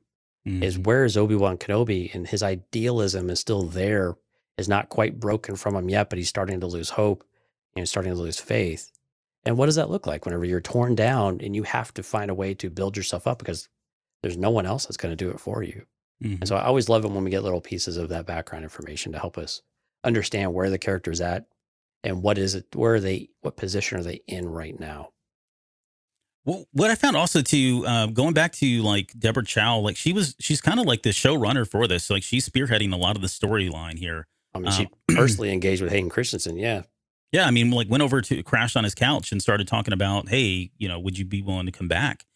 Um, and had to sell him on that. But even before she got there, she had to sell the idea of Vader coming back. Like she had to sell that there was a story that needed to be told, and a lot of the a lot of the um, I wouldn't say pushback, but the conversation was really about what does it do for that moment in Star Wars Episode Four, as we've talked about many times. Like, is does that recontextualize that story in some way, or that that that meeting and, and some of the dialogue that's spoken during that scene. Um, but eventually she won. Um, I don't think it was. I, they, they didn't say it was a hard fight, but you know there were probably other thoughts. It doesn't sound like the original movie script had that as part of um, the storyline. So glad to see that he did make it in there. And then of course, naturally going back to Hayden and bringing him in, and just, I mean, I keep seeing all these these uh, interviews with Hayden Christensen, and I feel I feel bad for him on some to some extent because he doesn't he doesn't seem like as happy as he used to be right? He's grown up. I don't know what his life has been like but i know he's he's suffered a number of uh, tragedies as a result of doing the prequels. Uh, but i think he's very sincere and very genuine when he's talking about how much it means to him to see these people coming forward and saying you changed this these movies changed my life and you were you know a hero to me growing up and i love the character and i love the prequels. You know we're, we're like we're like freaking celebrating the Clone Wars now, right? And you think, but Clone Wars was, I loved it, but Oh, man, mean that got a, the clones. no. I'm talking about the Clone Wars. It's Oh. a, well, attack. Well, let's just okay. So really, both. When the Clone Wars season seven came out, Yeah. right? Yeah. There were people. That whole conversation came up again about season one, season two. But yeah, uh, and then Attack of the Clones. I think we're coming into the anniversary here. What next 20th year? anniversary. I Is think next we're year? here. Oh no, it's No, it's 2022. this yeah. year. It's going to be celebrated. Yeah. Yep. And there are people talking about it and like like it was the most incredible story ever told. Um It's the, it is the greatest love story ever told and written. yeah. But um so I lost my train of thought. Oh, so yeah, just just seeing Hayden Christensen have, uh, talk about how much a lot of this means to him and just be it's just so eye-opening for him because you got to Such figure a like he, genuine guy. yeah, and he It's that. Canadian blood, man. Yeah. Super nice dude. But so uh, to go back to Deborah Chow, I think there's a great quote in here. And again, I hate to just do quotes from the article, but I think it really is important of how she viewed the Vader Kenobi or Anakin Kenobi dynamic. She, she says, I felt like it was quite hard to not include the person who left Kenobi in such anguish in the series. Uh, so what might have, uh, so what intrigued her was the idea of despite Vader would become, Kenobi still might care deeply. So quote again, I don't know how you could not. I don't think he will ever not care about him, uh, Kenobi to Anakin. What's special about their relationship is that they loved each other. Mhm. You know, again, I- it's the, you start with an idea and you start with that relationship and you start with the connection. and then the story sometimes just builds itself. You just start asking questions, and this is how story meetings start, right? We, we've if you've ever read behind the scenes or watched behind the scenes uh, material in a writer's room, and I think High Republic has been really uh, good at documenting some of this stuff with the with the writers. It's just a ton of questions. You start with something so basic, and then you just start asking questions, and all of a sudden you've got whiteboards full of information about what the character is feeling. Where are they at? How do they feel about this character? What what is it they've been doing? What does this other one feel about this? And how do they all tie together? And, and so on and so forth. And so I like that Deborah Chow, the way that she's approaching this is very much from that perspective. Because again, if you don't hit the right notes on the emotional level with Anakin and Kenobi, or Vader and Kenobi, however you want to uh, view that, Mm-hmm. it's not, it's going to fall flat. It's not going to work. And I, I agree with her. I think you have to have Vader in some way involved. And for them not to, I, now I was on record as saying, I don't really need them to have a confrontation. But if you do it right, you can you can really do something powerful with it. And it sounds like she has a fantastic idea about what to do and how that this this uh, conflict that we're going to see between the two of them is going to reshape our ideas, even all the way back to A New Hope. Yeah. What um so there's another one in here, not to stir up anything, but I just kind of want to get a so now that you've had a chance to kind of read the article, um, there was a line in there that said she said this is I think it was Deborah Chow or somebody. I know it was it was Anthony Breznican, so to be clear, it wasn't anybody on the staff, but they said technically you don't need Christensen for Vader. All you need is a mask, a hulking figure in a suit, and if you're lucky, James Earl Jones's imperious voice. Yeah. So, what do you do? You read in, anything into that? Are they signaling that we're going to get James Earl Jones and not Hayden Christensen? And do you even care at this point? You know, it's funny. I had the same question for you, Gah, uh, but beat you to it. but it's I mean it's a, it's an obvious question though. I think it has no. I, I got to be honest, but I don't think there's any basis behind it. I think you just cannot talk about Vader without talking about the voice because I, I to an extent he's right, and we've had this. We've had multiple people in the suit physically. Mhm. You know, Dave Prowse, of course, was the original, but there's been a couple of others here and there, and so you can get away with some of that without really anyone knowing the better. I mean, we we see it with Mandalorian a lot, right? We know that Pedro Pascal is not in the suit all the time, but does it take away from any of it? No, we partly don't even know who's in there half the time. Every once in a while, you see a little bit body difference. That's about it. Yeah. But for James Earl Jones, it's very, you know, that's a very important piece of it. But again, is it signaling one way or the other? I don't think so. I think it was a bit of baiting, you know, to dangle it out there just to get conversation going about what he's talking about. But I don't think that Resnick's got any kind of insight on that one. I think he does, and I don't believe think, I, think I don't he- believe you. you're starting to sound like a separatist. Uh, I think he does, and I think uh, I think I'm it's neutral. Gonna, I think it's going to be James Earl Jones. I think they're going to do that.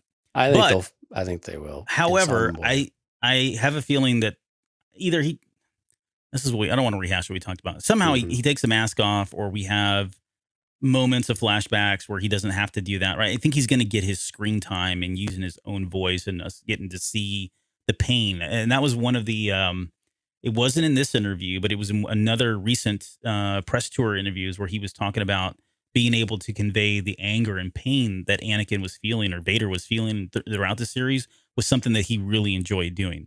You're not going to do that. I mean, you can. I mean, Pedro's now shown us that you can do that. You can do it behind a mask, but I do have a feeling we're going to see that. Uh, you need to see his face. in Yep. some way. I some agree. way. Yeah. Okay. And again, it's gonna be like Matt Lanter with, uh, you know, in Rebels, right? hmm His voice came through when Ahsoka cracks his mask. Yep. And it was all the more powerful for just hearing his voice come through the Right. modulator. Yeah. Maybe that's what happened though. In the fight, the modulator will break, and so we just hear behind the mask the entire time. That'd be Right. funny. Uh, okay, so let's move to Ahsoka next. Not a whole lot on Ahsoka, at least in Maybe this interview. Maybe he'll tell Kenobi how afraid of senators he is. Uh, yeah, that's another callback. That's where his fear really stems from, from politics. Yeah. Uh, okay, so for Ahsoka, uh, let's see. There was a, a there was an interesting bit that happened at the very beginning uh, in this interview. They're kind of talking about where uh, Rosario Dawson had kind of spoiled the or not spoiled because it's never been really confirmed, but she made an assumption that because Ahsoka was coming back, that Hayden Christensen would be back as well. And I think there was this came out, you know, what is it, three years ago now? There was some unsubstantiated rumor online Yeah. that she got baited into, basically. Yeah, and she tweeted something like, "Hey, Flyboy," or hey, something. Sky where- Guy. Sky you Guy. know, Sorry, See you soon. Love Snips or something Snips. like that. Yep. And so they this came all this became a big thing. Um, but what we what we still don't know now, like because it was brought up, and I get it, I get the interviews are being done because we're talking about all of these series. But now, if, if for me, it's like resurfaced, like okay, well, are they gonna bring Vader back into the Ahsoka series, and would they do that? Um, it maybe as a flashback, though, right? I mean, it would have to be because at this point he's already passed on, but One again, would it be Vader or Anakin? exactly. Well, Anakin, Because right? again, no, Because again, if you're going to do it with Hayden, yep. it should be Anakin in some way, right? Yeah, so But you're right. They were know. very they were very open about this though, and like it was no big deal talking about it. It was more of a joke, which was a little bit surprising because I thought they would have perhaps spent less time talking about this type of thing. But Um, they went through uh, this article. Really, I think, what, at least for the Ahsoka piece, they were really just trying to refresh everyone that may not be familiar where with where Rebels ended and what Ahsoka truly, why she's truly after Thrawn. It was kind of a reset there. Now, in the extended one that happened at 3 p.m., there were a couple bit more uh, bits that were ref, um, revealed, and I think primarily. and I don't, again, I don't want people to freak out because they kept they were very clear about look, we're just speculating but they were really on going on about how uh, Filoni. wait, Has it- speculating? This is Anthony Breznican and uh, Adam Lance Garcia. so, This is why this is why you can't trust journalists though. well, no, I'm no, time out. Whoa, whoa, hold Well, on, hold on. on. You're about to step on something. He so Adam Adam Lance Garcia is legit. Okay, He is uh, Anthony Breznican is legit But- too. but However, they're I would say speculating after writing an article about Star Wars of where they meet with people. in in this, got to listen to it. In this, Okay. he even says we shouldn't be doing this as journalists, but we're be, we're being Star Wars fans right now. That's an So they- important piece of context. Okay. So they they acknowledged that yes, they were speculating. They were just having fun. Okay. But the fact that they were what they were talking about was uh they got on the subject of Heir to the Empire. And that's like Lance's like favorite series. I think he's around my age, so he grew up Okay. with all that stuff, right? But what he was what they were talking about was whether or not Filoni would try to wrap in some of that storyline. And they were alluding to, again, speculation, but we've talked about this about whether or not because Thrawn's going to come back, right? We know Thrawn's going to come back, and there's going to be a long period of time there before we get to uh, sequel trilogy form proper, where you know Kylo Ren, Snoke, and all that. Right. Would they make an attempt at bringing something like Heir to the Empire? Would they bring that in? And no, they don't really. He never says anything, but all he all he does say is, or what they do agree on, is that Filoni is known. He's a big fan of that series of books, and that is the story that we got from Legends. And he is well known to bring back aspects of things in Legends and retell them in different ways. And just to kind of uh, toot our own horns, we went into some of the speculation. I think as part of the uh, was a Bad Batch. I think we were talking about that. Yeah. Uh, so I don't want to again. I'm not want to put too much into it, but that whole conversation is just very interesting to to listen to. Uh, but beyond that, there really wasn't a whole lot uh, for this series. Uh, there was, I mean, it was kind of a rehash of everything that was already in the article. So Yeah, I- and We'll think see. so. To, to continue with that, with Filoni, his quote in the article was Ahsoka's a continuous story mhm. and is driving towards a goal, in my mind, this is Filoni, as opposed to being a, a little, as opposed to being little singular adventures. Yeah. So that's what he wants the character to, to be doing. He knows that's what fans want too. And he recognizes that fans have a huge relationship. They've seen her grow from, you know, kid to adult now. And, you know, they're excited to see these characters continue. And his little comment at the very end is as they should be. So again, we know that Filoni always has a very the, the traditional kind of George Lucas way of thinking is like, I know where this character is going, more or less. And I got to figure out kind of how to get there, but I know where I want them to be and, and uh, generally what's going to be around them. And so I think that's a really exciting thing about the characters that fly. And that's what we like most about Dave Filoni, right? Is that things matter, right? The little things matter sometimes. And it, nothing seems to be wasted and it brings it all back together. So I think that's a I think that's a lot of fun where Ahsoka can really, really appeal to a lot of different people at a lot of different age range too. Clone Wars, Rebels, and then the more recent fans that have seen her in Mandalorian. So yeah, a lot of I mean a lot of opportunity there with Ahsoka. yeah. and if you bring Vader in, I mean now you're appealing to a whole, you know, another group, you know, in particular. So Um, Very cool. Uh, Jeff says Jonesy is kind of right. You got to keep articles and columns separate. Articles should be straightforward. Columns obviously editorialized editorialized away. Uh, so the con- so I didn't I don't think I've said this, but what this was was a Twitter conversation. So in in Twitter you can have one of these like it's almost like a going live on YouTube, but it's Twitter and anybody can join and it's just people talking. It's like a chat room basically, or think of it like a Discord audio chat room. It's essentially it's exactly what it is, but just through Twitter. And that's what they were doing was, hey, now that we've written these articles, let's get together and just kind of talk about and tease some other stuff up in as well. So they did get into speculating things and they and all that, but it was not a here's another the, article. That's the blurring of the line though, right? Hey, we've written this article. Let's speculate on all the things that I've learned from it after talking and spending time with these people. I think that's where the line gets blurred a little bit. I it's a to do them in the to to advertise one in the same breath of saying let's do we're also going to do this later and have a town hall type of thing it's just it's blurry and so it, it just i don't know it's my preference I would, I would say I, I, like to i like to have lines that are a bit more clear maybe but yeah. Uh, i would say listen to it and then see if you have the same opinion. That's all. I think my uh, general opinion would be the same. How he does it though I, I don't i don't i'm not disputing what you're saying at all that they you know how they presented and things like that may have been clear but it's just on the surface if you're not if you don't have all of that with it you could definitely take some wrong conclusions from it pretty quickly. Yeah. Anyway i'll Uh, stop beating the horse uh, let's talk about andor i'm very confrontational tonight jeez. Uh andor there was some new stuff in here. Um i mean well i wouldn't say new probably more i was probably just fleshed out a little bit more. Like we know like the refugee story that we suspected was there because of the quote that was given in rogue one about yeah. some of us have been in this fight since we were you know five years old seven years old whatever it was. Although we Uh, get a little bit of context to that comment now but i'm, I'm curious how accurate it is. Yeah um yeah he's a he's a refugee um they're you know his family is they're fleeing this the the power of the empire Yeah. Um, journey so- of a migrant is how uh, how luna called it yeah Yep. Um. So yeah. Um. It, what this one? I, I won't get personal. This one struck me kind of hard because it, it, the rest of that quote says that feeling of having to move is behind this story, very profoundly and very strong. That shapes you as a person. It defines you in many ways and what you are willing to do. Uh, and again, I don't want to get too personal, but this is like what I went through as a migrant worker. My families were migrant workers, and we would constantly be moving back and forth between Michigan and Texas. And I always talked, I used to talk about how that really was, it defined me in a lot of different ways because I never lived any one place. And, uh, you know, school was over and I'd go work. Um, and, and it was just, it really, it, it, I think it, that's why I'm so, that I, you, of all the series, I've been on the same, I've been very consistent. Like the one I want to see the most is Andor um, because I'm ever since that line was said, like I don't know, it just resonated with me. And the fact that it's Diego Luna, and then because of my heritage and all that, of course, there's that's something to be said too. I love the fact, and I'm going to just say it because um, I I said this uh, recently, and someone just kind of giving me a bunch of crap for it, but I don't think people do truly appreciate what it's like to be able to see characters in Star Wars that look like you. I know that sounds it shouldn't be about that, but at the end of the day, it really is. And for me, growing up.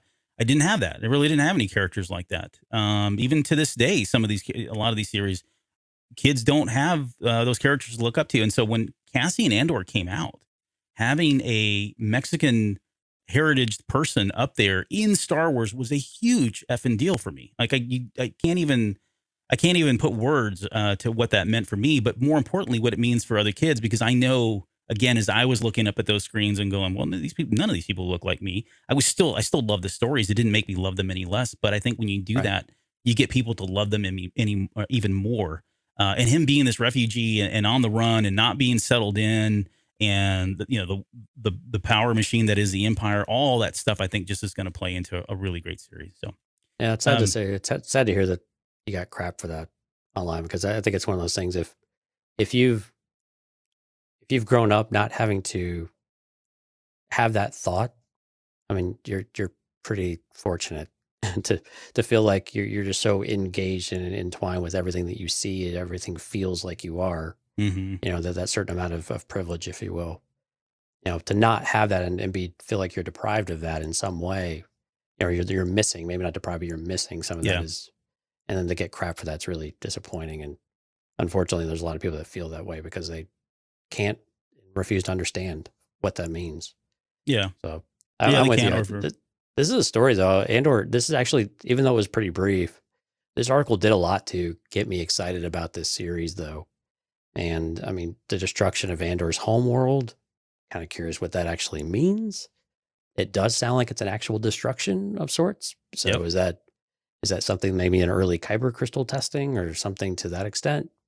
You know, but also the like you were saying, the expansion of the empire, the radicalization of the world that he adopted at his home, which I think we can all, you know, to some extent appreciate as well, right? As as our politics have gotten more extreme and as our behaviors have drifted outwards rather than inwards, you know, we we can see a lot of some of the story maybe you know being reflective in our own culture as well, which I was I think is going to be interesting. And I was also really interested in seeing that Mon Mothma is going to have a bit more of a focus in the story too Yeah. a, a, silent background character that has been so instrumental in the lore aspect of it, but has yet to really get that moment to shine in canon. Uh, really, yeah, really just in the canon you know, space of it all. So I'm glad that they're working that into it and that they're very much intertwined in Andor's story, along with Man, Mon Mothma's, uh, Mon Mothma's uh, you know influence and and uh, her perspective on things. Yep. I there was I don't know where I had this. It was in the notes, but I think it was um they were talking about how their stories were going to run in parallel. Um Yeah. So so seeing, you know, Mothma what she's going through and then seeing a completely different take on it um through the eyes of uh Cassian Andor is kind of how I took that. But I think the interesting question, so the theme of the series is devotion. That was announced. I think it mentioned in the article. But then the question that Gilroy, um, I think he's the what writer, director, I forget what his name. Uh, yeah, Tony Gilroy. yeah, Uh, but he he posed that question of who sacrifices their life for a galaxy, right? Like how big is that cause that you would sacrifice your life for an entire galaxy, right? Or to, at least to block, and again, to take the words from the article, to block the the goals of the empire is kind of what he's ultimately doing here. And uh, you think of characters like Saw Gerrera. Um, I think there was, if there was not mentioned in this one, it was in the other one. Uh, but they, I guess, confirmed that we are going to have a Saw Gerrera in the uh, what are they called? Not the pacifist, but the um, oh, I'm trying to think of the names. Forget the name right now. But they've got a the, the name for their their movement, right? That'll be a part of it as well. So seeing that, I mean, because that was what those guys were doing. They were putting their lives on the lines. All of them were uh, for the galaxy. So Yeah, I mean, and there's clearly a backstory with Mon Mothma and them too, so that they would all be intertwining a bit is, makes sense. Yeah. I think the other thing that Gilroy was also saying is that you know how do you take Andor? You know, how do you end up where he is in Rogue One, where you're willing to give your life for the galaxy in a in a moment with people you barely know? When you come from this very risk averse and this uh, they called it revolution averse and cynical type of you know perspective, a character who's very lost and really probably just mad at the galaxy, right? It just doesn't want anything to do with it, and certainly doesn't want to get involved. That sounds Yeah. familiar, but you know, so so how do you get from that point to you know to the point where it is in Rogue One? I think that's a really interesting story. And I said, you know, season one is really going to focus on that part of Andor is these first steps of him changing that perspective of wanting nothing to do with any of this stuff to where we start to see him headed in later material. Yep. Uh, let's see. I don't think I had anything else um, on that one. Uh, they did say see, they mentioned season the first season, so I think we talked about that as Yeah. it was potentially three seasons long. Yeah, Um, as many as five, but sounds like it's been dialed back to three. That's all speculative, I believe. But yep. three But seasons was- is still at least long- two. Still a lot for Star Wars. Yeah, There's still at least two. yeah, and I, I think when we get to the end of the show, we'll we'll outline the timeline as we see it uh, for all the shows. I know we've not really said when they're all releasing, but we'll, we'll give you the timeline from start to finish about what we can expect for the next twelve to fifteen months. Oh, did you did you put that together? Right here, Oh, baby. okay, okay. Because I was like, oh, I didn't. No, I do I have. didn't do I do that, have notes but, uh, for it. No, I do have notes for it though, and we'll have to speculate a, a little bit about one that Sure. was not talked about that fits in there somewhere. So Yeah. but yeah, Okay, so uh, let's move into I guess the second to last that I've got here, which is the alkalite.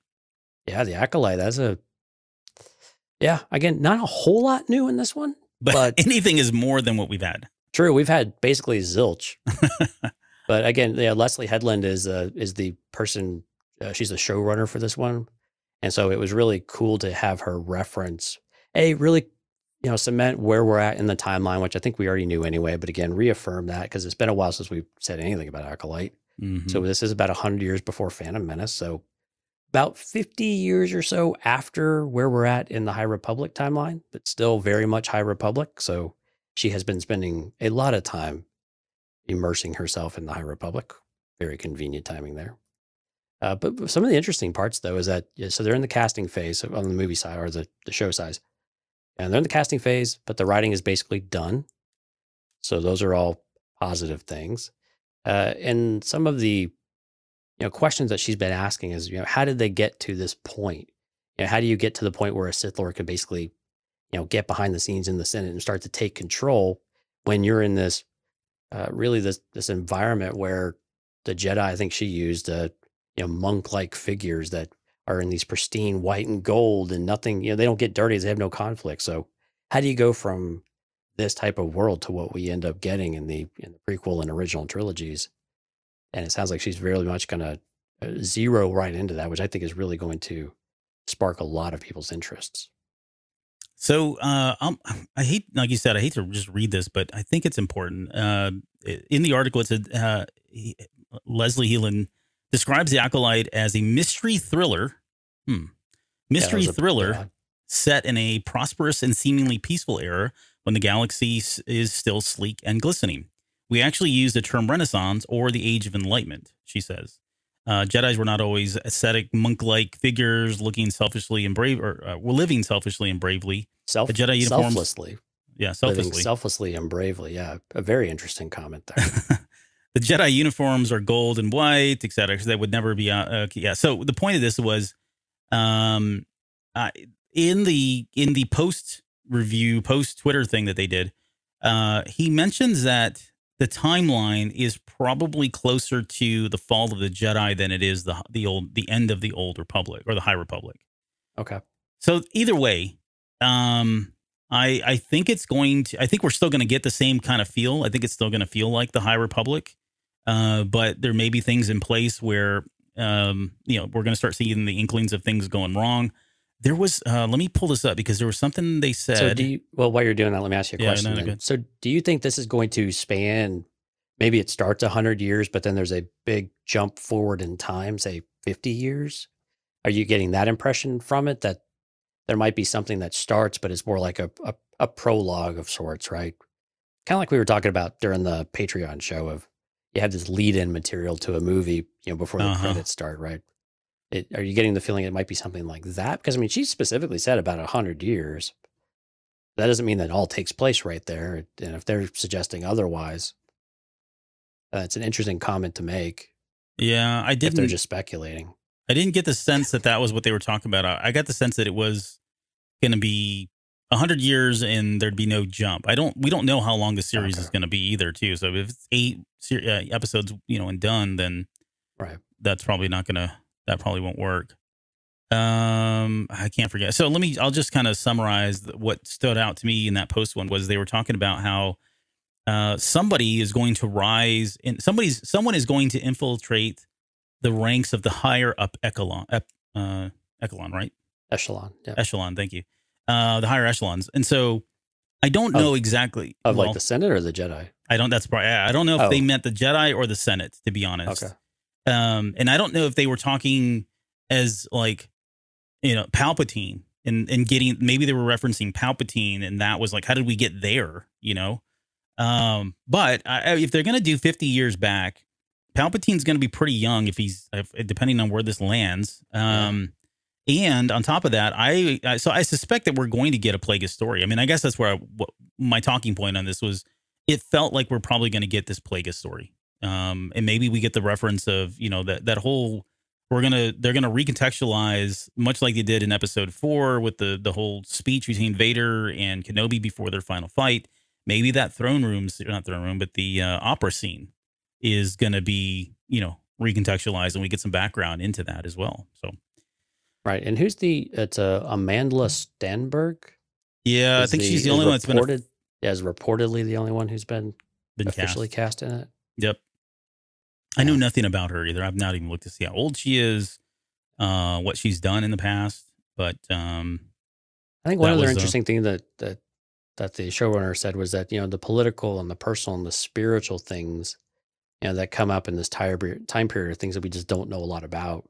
Which I think is we're getting a much better idea with High Republic. But again, where is it evolving as you get in something closer to the prequel trilogy?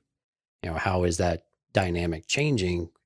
Especially when you start talking about the spiritual side of things, because the you know the hubris that we see the Jedi Council have by the time Phantom Menace comes around, and the type of hubris we see in the High Republic are quite different. So where is it going from that? And how much do the events that we're seeing in High Republic so far really play into that? And then I think furthermore, what's phase three actually going to look like? yeah, This will Uh. presumably be coming out around the time phase three would be starting. Potentially. I think we, we did mention that too. We were kind of thinking it would be. I said it was going to be predicated on that because I don't see how they're going to be able to tell. It'd get messy, I think, if they were still in a phase two and trying to tell a story. Um, but what do I know? Uh, Uh, yeah, Okay, I think uh, again, it kind of depends on what stories they are. and Yeah. Exactly how far apart they are too. I think, I think you could do it if you were in phase. If you did them simultaneously, you could probably still get away with it and make it work. But yeah, I Um, these right. guys are creative. That's why they make the big bucks ish. ish. Right. Okay, let's talk about uh, Grammar Really no, man, no really, yeah, no real Mando news by the way. Just a No, confirmation on the time, which we'll talk about here in a little bit. yeah, I think yeah. We'll Yeah. So but- Grammar Rodeo, what what the heck is this thing? So Gra- Grammar Rodeo um, is just the name. That's like its uh, code name, right? Like Yeah, it's a Blue Harvest. episode. Yeah, it's a Simpsons reference, right? Yes, there's an episode of uh, Simpsons called Grammar Rodeo where Bart and some kids, I think they take a car and they uh, say they're going to go to the Grammar Rodeo, and I don't, I, I've never seen the episode to be honest, but um, the point. So this story, uh, I guess what was confirmed, all we know now is that there's at least four kids. Uh, they had a casting call for kids around the ages of ten to twelve.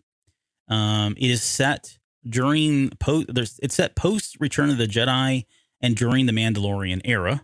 Okay. Um, on top of that, they uh, it's in the vein of what they call the Amblin movies of the '80s, which is really code Oh, for God. the Steven Spielberg type movies of the Right. '80s.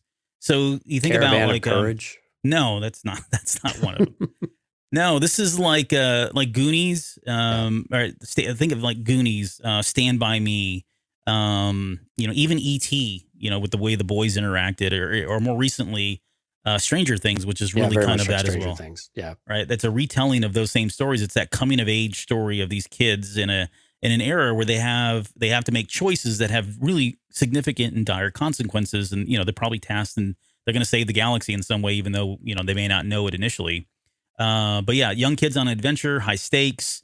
Uh, the story is told through the eyes of these kids as well. But beyond that, there's not a whole lot. But it does sound like, I mean, when they're talking about all these different series like that, it sounds like it's going to be before any you know Rangers series or whatever else has been tossed out there um, for the future. So I don't know. I, I don't know when this one falls in. Um, my gut tells me it'll probably if they're only at this phase now, it's maybe it's not till next year before they start filming. All right, so probably two years out at least on it.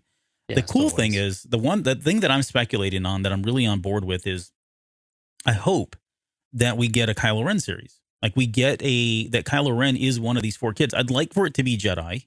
It, uh, it doesn't have to be, but if these are four kids as part of Luke's temple and he's training them, and one of them just happens to be Kylo Ren, and we get to see these young adventures of Kylo Ren or Ben, Ben Solo, Solo, sorry, young adventures of Ben Solo along with his buddies. Maybe they bring some of the characters that we saw in the in the comic book, like his best friend that, um, well, like his only friend really. But uh, you know that would be a, that'd be an interesting thing to see, and I think it would paint his character in a different way, and we'd get to see him again. Doesn't have to be like I said; it could be you know any four kids that have that don't even have that are not uh, force sensitive. Maybe that's the story they want to tell. But So are you getting a, are you getting an impression that this is an actual children's younger viewer type of series, or is this now this is going to be kind of traditional Star Wars ish, you know, age age ranges PG Yeah. PG thirteen type I, I think it's all been speculated. I, I've seen people speculate that it is and that it isn't. So no one know. I don't think anyone knows for sure. Um, Right. Casting it kids, confirmed. your automatic assumption is that oh, it's going to be for younger viewers, but Stranger Things clearly is not that, right? Yeah, yeah, certainly not for yeah, not for the really young. Um, so yeah, I'm excited about this one. Um, they had me when they said Amblin 80s. I mean, Right, that's all you needed. That's all I needed, right? So you just you had the logo pop in your head, and you were good to go, Right. right? ready to go. Uh, let's see. Okay, and then lastly, uh, let's talk about the future of Star Wars. Um, there was there's some good points in here. Like she talked about the the era, the 60 years era, and and wanting them to get out of that era. Like I think they're they're acknowledging, like, okay, we've we've we've done enough here, and we need to move on. Like, where does the future of Star Wars lie? Uh, they mentioned the Acolyte, so that's going back. I mean, we've heard rumors. I mean, we, you know, we've got uh, Tales of the Jedi, whatever that is, going to be announced officially, or we'll get to maybe see something or know more about it here at Celebration. So there's that. Um, but you know, the big open, wide open space for them really is going to be post the Rise of Skywalker, and um, you know, rumors were that Taika Waititi's was going to be either in that era or in the you know, old Republic era. I think is what we've seen so far. So, what do you? I mean, Uh, we keep saying like I was I was done when Rogue One came out. Like, okay, I don't need any more stories from then. Yet I'm pretty happy with everything that's come out. Right. Do you think they're they're going to keep going to the well, or do you think they're eventually going to finally just break away from it? I mean, it's really hard to say that they're not going to because everything they've built is right in the core of the well, Yeah, right? Right. Right. I mean, that's really where they keep fleshing things out even more and more.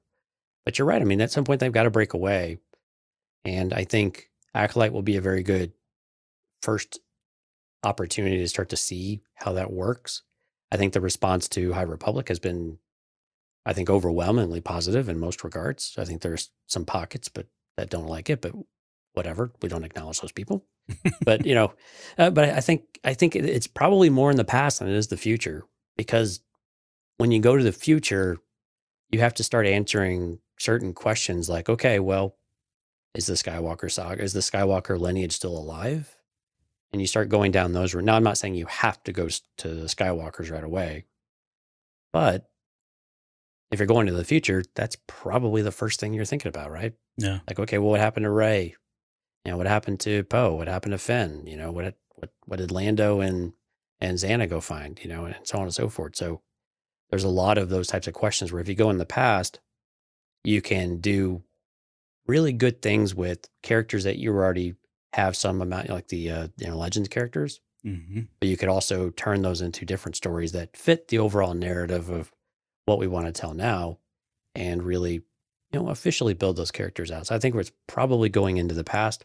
It's probably not what they would prefer to do. I think if they had, if they just had a, you know, just a, a you know, a free drop on this type of thing, but honestly, I think it's probably the the right mix of safe enough, but enough freedom that you can do whatever you want. Because really, they could go in the old republic, and the old republic is thousands of years. Oh So, yeah. I mean, it's yeah, a huge playground. right. So wherever you want to go, you don't have to touch any of the characters if you don't want to that are established, and you just kind of create your own, you know, your own little, you know, pocket there for a hundred years, and you kind of, and that's that's kind of what we thought things were going to go anyway. We thought there was going to be a basically a new trilogy, if you will. And I was actually glad that, you know, Kathleen Kennedy cleared some of that up. And we think of these in trilogies, but they're really serials, right? And we need to stop thinking about them in in, in groupings of things and really more of this uh, continuous storytelling, a persistent storytelling. Of I think is what she called it. hmm You know, but that's what we originally speculated is that, you know, well, old Republic, we'd have a, you know, a series or a set of movies, you know, back in that time frame. So I think it was probably going in the past. I think going in the future is a bit sketchy. And then you have to kind of reimagine what Star Wars looks like a hundred years, a thousand years into the future. And then you start looking at He Man, that didn't go well. The new he, New Adventures of He Man was, yeah, that did not work. Yeah, hit a hit a soft spot for you there, or a hard Yeah, I spot. did. I, t- I took myself there. It's like punching myself in the leg or something. Yeah, in the nuts. Um, yeah, that's so I think- line, not mine. yeah. She said uh, we have a roadmap. Yeah. Um, I, I believe her. I, I just like you said. It, I think it's a little. It's probably sketchy right now at best because I think movies are just so far out still for them. It's probably the very beginning of the roadmap. I don't think they've mapped out you know the next twelve years or anything like that. Right. But Disney- I think I think, oh. but a I think a roadmap in general is important to have. Here are the ideas we have, and here's the ones we think we want to carry forward, and here's how they're kind of connected, and here are the lines that we have, and here's where we want to see those go. Right? I think it's there's not always a it's not always a straight path. You're not you're not you're not doing it on an old you know atlas or anything like that. You're not sticking pins in the in the wall, but I think in general you you at least have an idea of what you have and what you want, hmm and you start filling in the gaps as you go. As long as you've generally got the you know have a general direction you're wanting to wanting to head. Um, I want to address something in the in the comments real quick. Uh, Dale says, "Do you think it makes sense to calculate time from a different point? It wouldn't make too much sense to p- that people were always calculating down to something that would likely uh, wouldn't likely be predicted." In different sh- stories, a thousand BBY is only known as a thousand BBY after BBY. Yes, and you're right.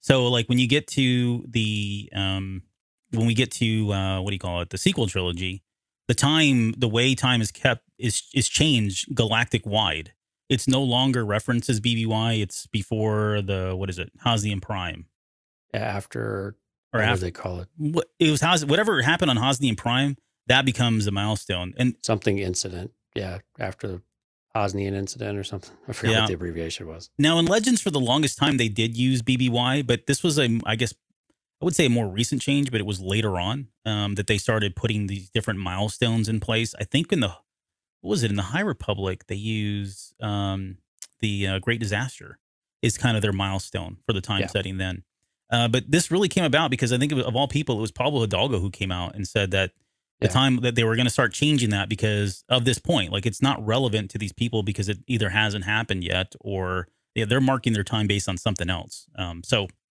short short answer is yeah you're right it it just depends on what era we're talking about Wasn't that people Scott, market Star Killer incident maybe before and after Star Killer incident? BSI, ASI. I thought Yeah, it had now I gotta Hosnian Prime it. Go look it up. I'm pretty sure it had Hosnian Prime. Um, okay, so uh, the rest of the movies here, uh, we talked about Taika Waititi's movie coming out first. Uh, they mentioned Rogue Squadron, and they said further off. I man, I swear, anything for It is. clicks. It is ASI and BSI. Is it? Yeah. What's First- ASI? After, Star, Killer. incident. I I, rec- I I googled it. The very first thing came up. ASI and BSI are dumb. Oh, wonderful. yeah, the go. positivity of the internet shining Yeah. shining through. Thanks, Star Wars fans. Um, there's uh, so Rogue Squadron was listed as being uh, further off, not canceled. You're, there's so many clickbait articles already on this one, and we're going to talk about Rian Johnson here in a second. Uh, and then the Kevin, yeah, the Kevin uh, Feige movie. This one was interesting. Yeah, Yeah, there's nothing to it. Basically. yeah. She, I mean, they in the, in the post one too. This came up, and they were talking about. They confirmed twice it is just rumored. There, they everyone loves to see would love to see what he's got to do, but it, there's nothing official down. And so, going back to what we said earlier, I don't think they're going to put their name down as saying there's a Kevin Feige production or he's behind anything until he's like, yeah, I've got the story, I'm committed, and I'm ready to do this. Until then, it's just going to be a rumor. So. Right. I, I wouldn't get all spun up about that, about whether or not we're going to go down the Marvel path or, you know, Feige's coming in, what that's going to do or change. Feige's pretty busy. Yeah, he's got a lot on his plate right now. Yep. Uh, the Rian Johnson trilogy. Yeah, Oh my goodness. So backburnered. yeah, backburner was the term that was uh, used. Um, I'm trying to remember now if it was Kathleen Kennedy or if that Yes. was Anthony Breznican that said that. But Uh, either way, that may have been him. Yeah. I think it, might have been Breznican. Did this Uh, did this come up in the in the after Yeah, it does. in the town hall thing? They don't they don't spend a whole lot of time on it, but they do talk about it. Um, the notes that I put was um, uh, they don't want to make an official announcement uh, because on, uh, on the details until they can get the director lined up. And so Rian Johnson is in that same book. He's got he's got some crazy Netflix deal that I didn't know he had done. Yeah. Um, he's got uh, Knives Out two that he's working on, right? And they're now they're even talking there could be a possible part three on Sounds that. like there's going to be a yeah three movie deal on that one. Um, but uh, for him, he he's he's as well as Kathleen Kennedy have said, look, I, I the only thing they ever did is said, hey, do you want to do a series of movies in Star Wars? And he said, yeah, hell yeah, I want to do that. And that's it. It never went any further. They never got anything in writing. There was a lot of speculation, at least you know, on our part and everyone else's part about what this Wow. meant. Yeah. I mean, then again, she did come out and say it too, but yeah. Yeah, So it's something they've Another talked lesson about. learned. exactly. This is one of those things where she was, like I said, this is eye opening. Like they're not going to sit there and say, we've got it coming. They've talked to him. It is a, and, that, and that's it. They've got an idea. It sounds like he's got an open door to come in and do this when he's ready. But You know, it's not canceled and it's not in production. It's not active either. So I don't know what that is. It's just kind of an idea at this point. Yeah. I think something else that was not mentioned here that was surprising is that Michael Waldron has it came out just in the last few days saying that he is actively writing something for Star Wars, a film, and it was not referenced in this article at all. And so I don't know if it's re- I don't know if he's working with the on the Taika Waititi film or what, but another writer I forgot who they put in there, but there was a different writer that was put in here that was you know, writing something, but not Michael Waldron, which was a little surprising. So I didn't know if there was anything to read into that. I'm assuming it was just overlooked or just not part of that conversation. But Mm. Yeah. I have mixed feelings about Waldron now. Like I, I- he's done some pretty good work. Um, I think I think he did two of the characters in Strange a little dirty, in my opinion. Um, and if somebody wants to know what my Marvel opinion is on that, I'm happy to talk to them about it. But uh, I don't know. Didn't it, that movie kind of rubbed me the wrong way in some in some regards? I loved it. Uh, I thought it was awesome, but I don't know. I didn't really like the way they took some of the characters. But that's ne- neither here nor there. So all all I'm saying is I'm I wouldn't say I'm skeptical, but I'm worried about what they stick him with because he he feels like another um uh, what's the guy that that that did uh, the Rise of Skywalker? It doesn't matter. Um, so we'll see. We'll see. He could crank out something amazing. We'll we, you never know. so I think a quote that, that was in this article and maybe a good kind of wrap up about this kind of section, these these types of shows that we're talking about, movies, uh, was Michelle uh, Rejwan, who's an executive producer on Obi Wan and one of the lead development chiefs. Uh, she said that it's fun to, in your head, peruse the Star Wars toy store. We've talked about this a lot. Uh, Mm. Oh, you can have this character or feature that ship, but at the end of the day, we really need to keep it pure about why. So whenever and I think this is something that, that came up in the article a few times, and maybe it came up in the town hall too, but is when you want to bring a character in or you want to write a story about someone or you want to use this or that, there should be a reason why it's there. And it shouldn't just be we're throwing everything in it. So we we give we had a little bit of fun with Favreau that you know he's having fun with his action figures and whatnot, but so far each one has had a had a bit of a reason of why they were there, and it was probably very clear that he could explain to you exactly why that character was there. And so I think this is again this calls to the attention that they want to pay to the story. And when a writer comes in and say they want to do something, that is not just throwing things out there to appease someone or to do fan service. It's like, okay, no, we really want to have a reason why this is in there. Sometimes it's because it's fun, it doesn't have an impact. But if you're going to do something major, you really do need to have a reason why. And you have to have a very clear description as to why that is. Because you know you're going to have to answer for it at some point. Yeah. Um, do you uh so before you run through the timeline, I just there was one other thing I had on my notes here. Uh so looking ahead, what do we so there's seven articles that are coming out from Vanity Fair as part of this ongoing coverage of the uh rebellion will be televised. So tomorrow, uh, it sounds like he it sounds like he was going to have to make a decision about which ones, he, what order he was going to release these in. But it does sound like tomorrow, because of all the feedback today and the conversations that we're spinning up and people taking things out of context, right or wrong, right on his part. Um, there, I think he's going to hit. He's going to do the longer Q and A with Kathleen Kennedy tomorrow. Um, and so it'll sense. be, uh, yeah. And then I don't know the order of these, uh, but there's going to be one with Jon Favreau talking about ex- explicitly talking about the book of Boba Fett, uh, giving us background and how that came about, um, why he made the decisions he made on some of these things. I don't know how different that's going to be from the behind the scenes stuff that's recently come out, but I would expect if they're going to do an article, there's probably more into it, um, which which would be fine. Um, then here's a really interesting one. So Leslie Head- Headland is going to be he's got a one-on-one interview exclusively about the Acolyte, excuse me, and to quote his terms, what to expect with that show. So Oh, it's awesome. it'll probably be a further expansion on what we got today. I don't know if they're going to have a whole lot more details. We'll have to see. But I mean, we're getting pretty close to celebration, so I don't think it's far. I don't think it's a stretch to say he he wouldn't give some good stuff here. Can I ask a silly question, Albert? Yeah, So why are we not having these discussions at Celebration and we're doing them on an article? I think they're working people up. Honestly, I think they're like I think that this is like the pep rally, right? But is Acolyte? Is Ac- I'm trying to remember the the panel schedule. I don't remember Acolyte really playing into any of it. I mean, it's going to be if it's if, there, if there's no acolyte specific one, I would say acolyte. I keep saying acolyte, acolyte. If there's anything, um, it's probably in that one hour, an hour and a half show that we're up against on the first opening day of Star Wars on film or Star Wars. What was the name of it? That's the Lucasfilm showcase. Yeah. Yeah, maybe there's there's bits and pieces in there. Oh, I That's got, an hour and a half. I got long, even though. worse note. I got even worse news for us on that one too. Oh, what When I go happened? through the, when I go through the timeline, I'll tell you. Oh, wonderful. Speculation, speculation, not true Okay. or not confirmed.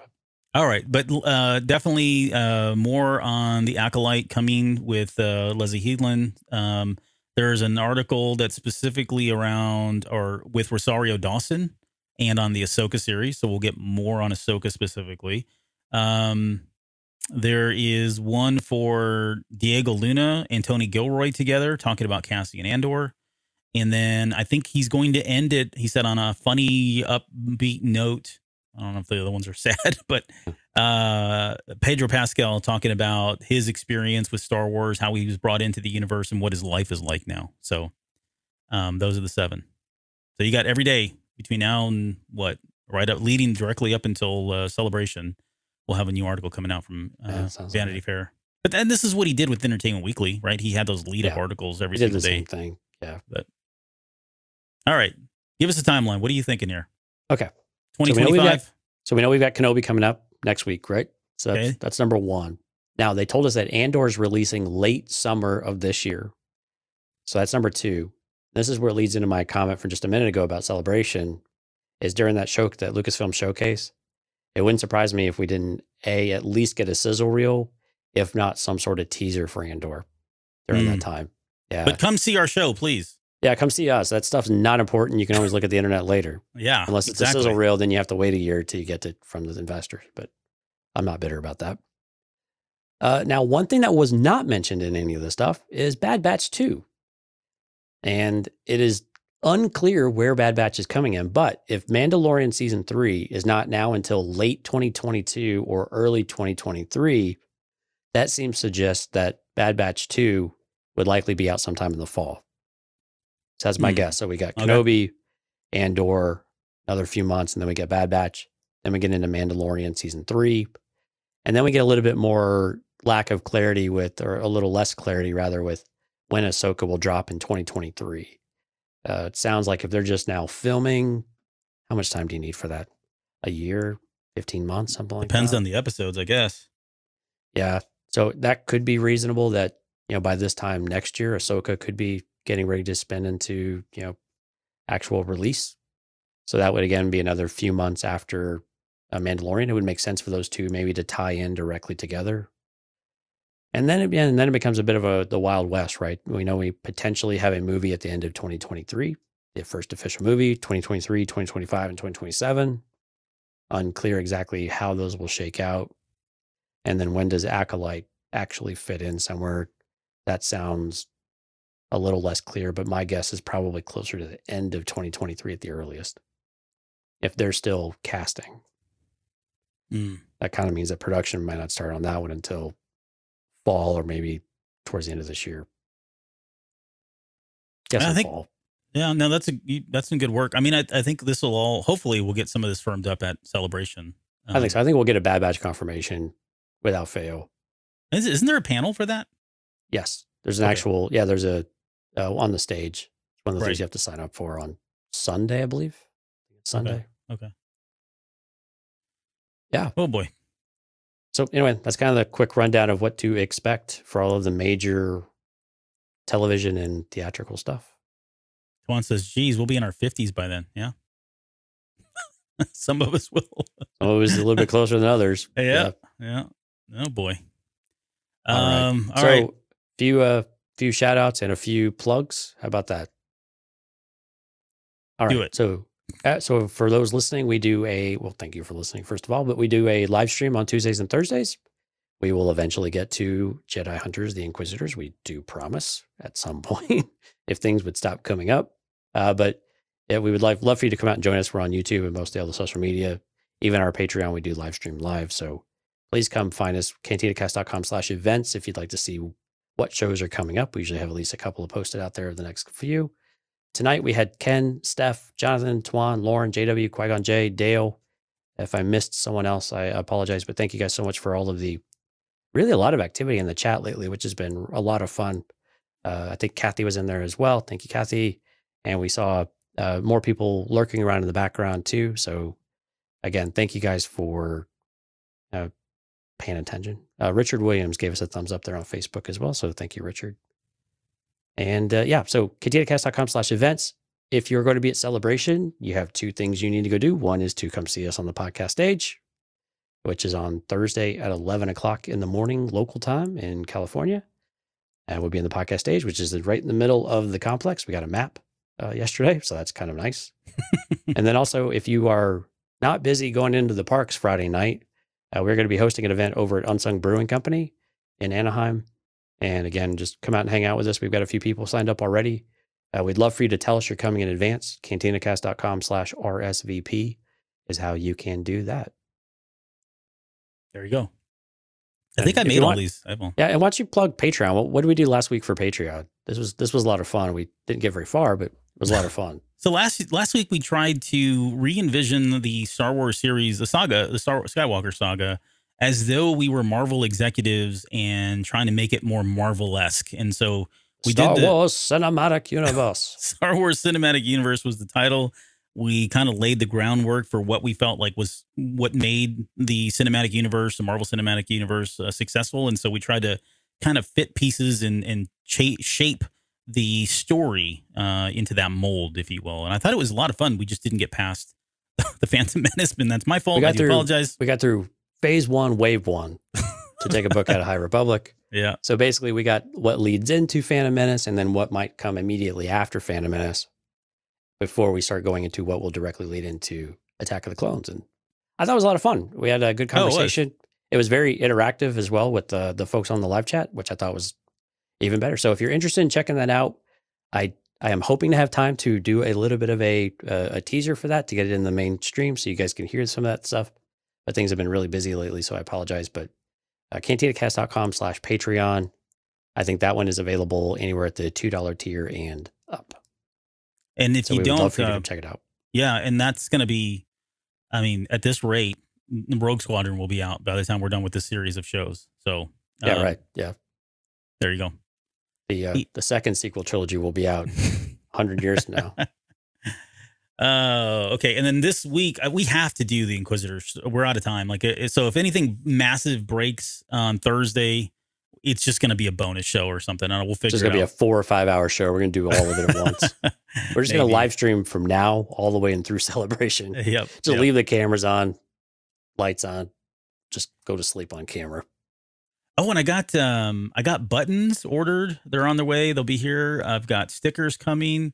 We have a bunch of goodies. I've got a ton of books that I'm going to give away. I'm trying to entice you guys to come out to the the uh, podcast show. Um, t-shirts. Um, what else? I don't you know. Have t-shirts? Maybe. We'll see okay. if they get here in time. Um, You're ordering stuff. Not even sure it's going to be here. Yeah. Well, the buttons and the uh, stickers, I'm positive will be here. I don't know about the shirts though. That one's right. going to be a little sketchy. So, and but hey, if you are, yeah, if you are at celebration, we will be at the podcast meetup uh, and that's open for both podcasters as well as listeners on Thursday night, which I believe is over at the uh, Anaheim Hilton Hotel, I believe. I'm uh, just going to go where you t- where you drop me off. That's all. I have no idea. Right. Yeah. It's where it's wherever I'm told to go. Basically. Yep. This is why this is why I put it in my calendar. Otherwise, I don't know where I'm at. But anyway, so we'll be there as well in that evening, uh, enjoying the festivities over there, and hope to run into you guys and and meet some of you that we don't catch during the convention. Okay. And with that, uh, we'll see you guys in a couple days for the Inquisitorius. See you then.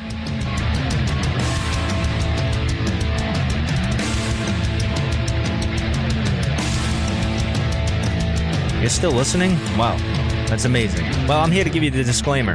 Normally, we do a big, long, drawn out disclaimer thing saying what's what and who's what and all that other stuff, but I think you guys kind of know that Lucasfilm and Disney have uh, no affiliation with us at all, uh, and we have none with them.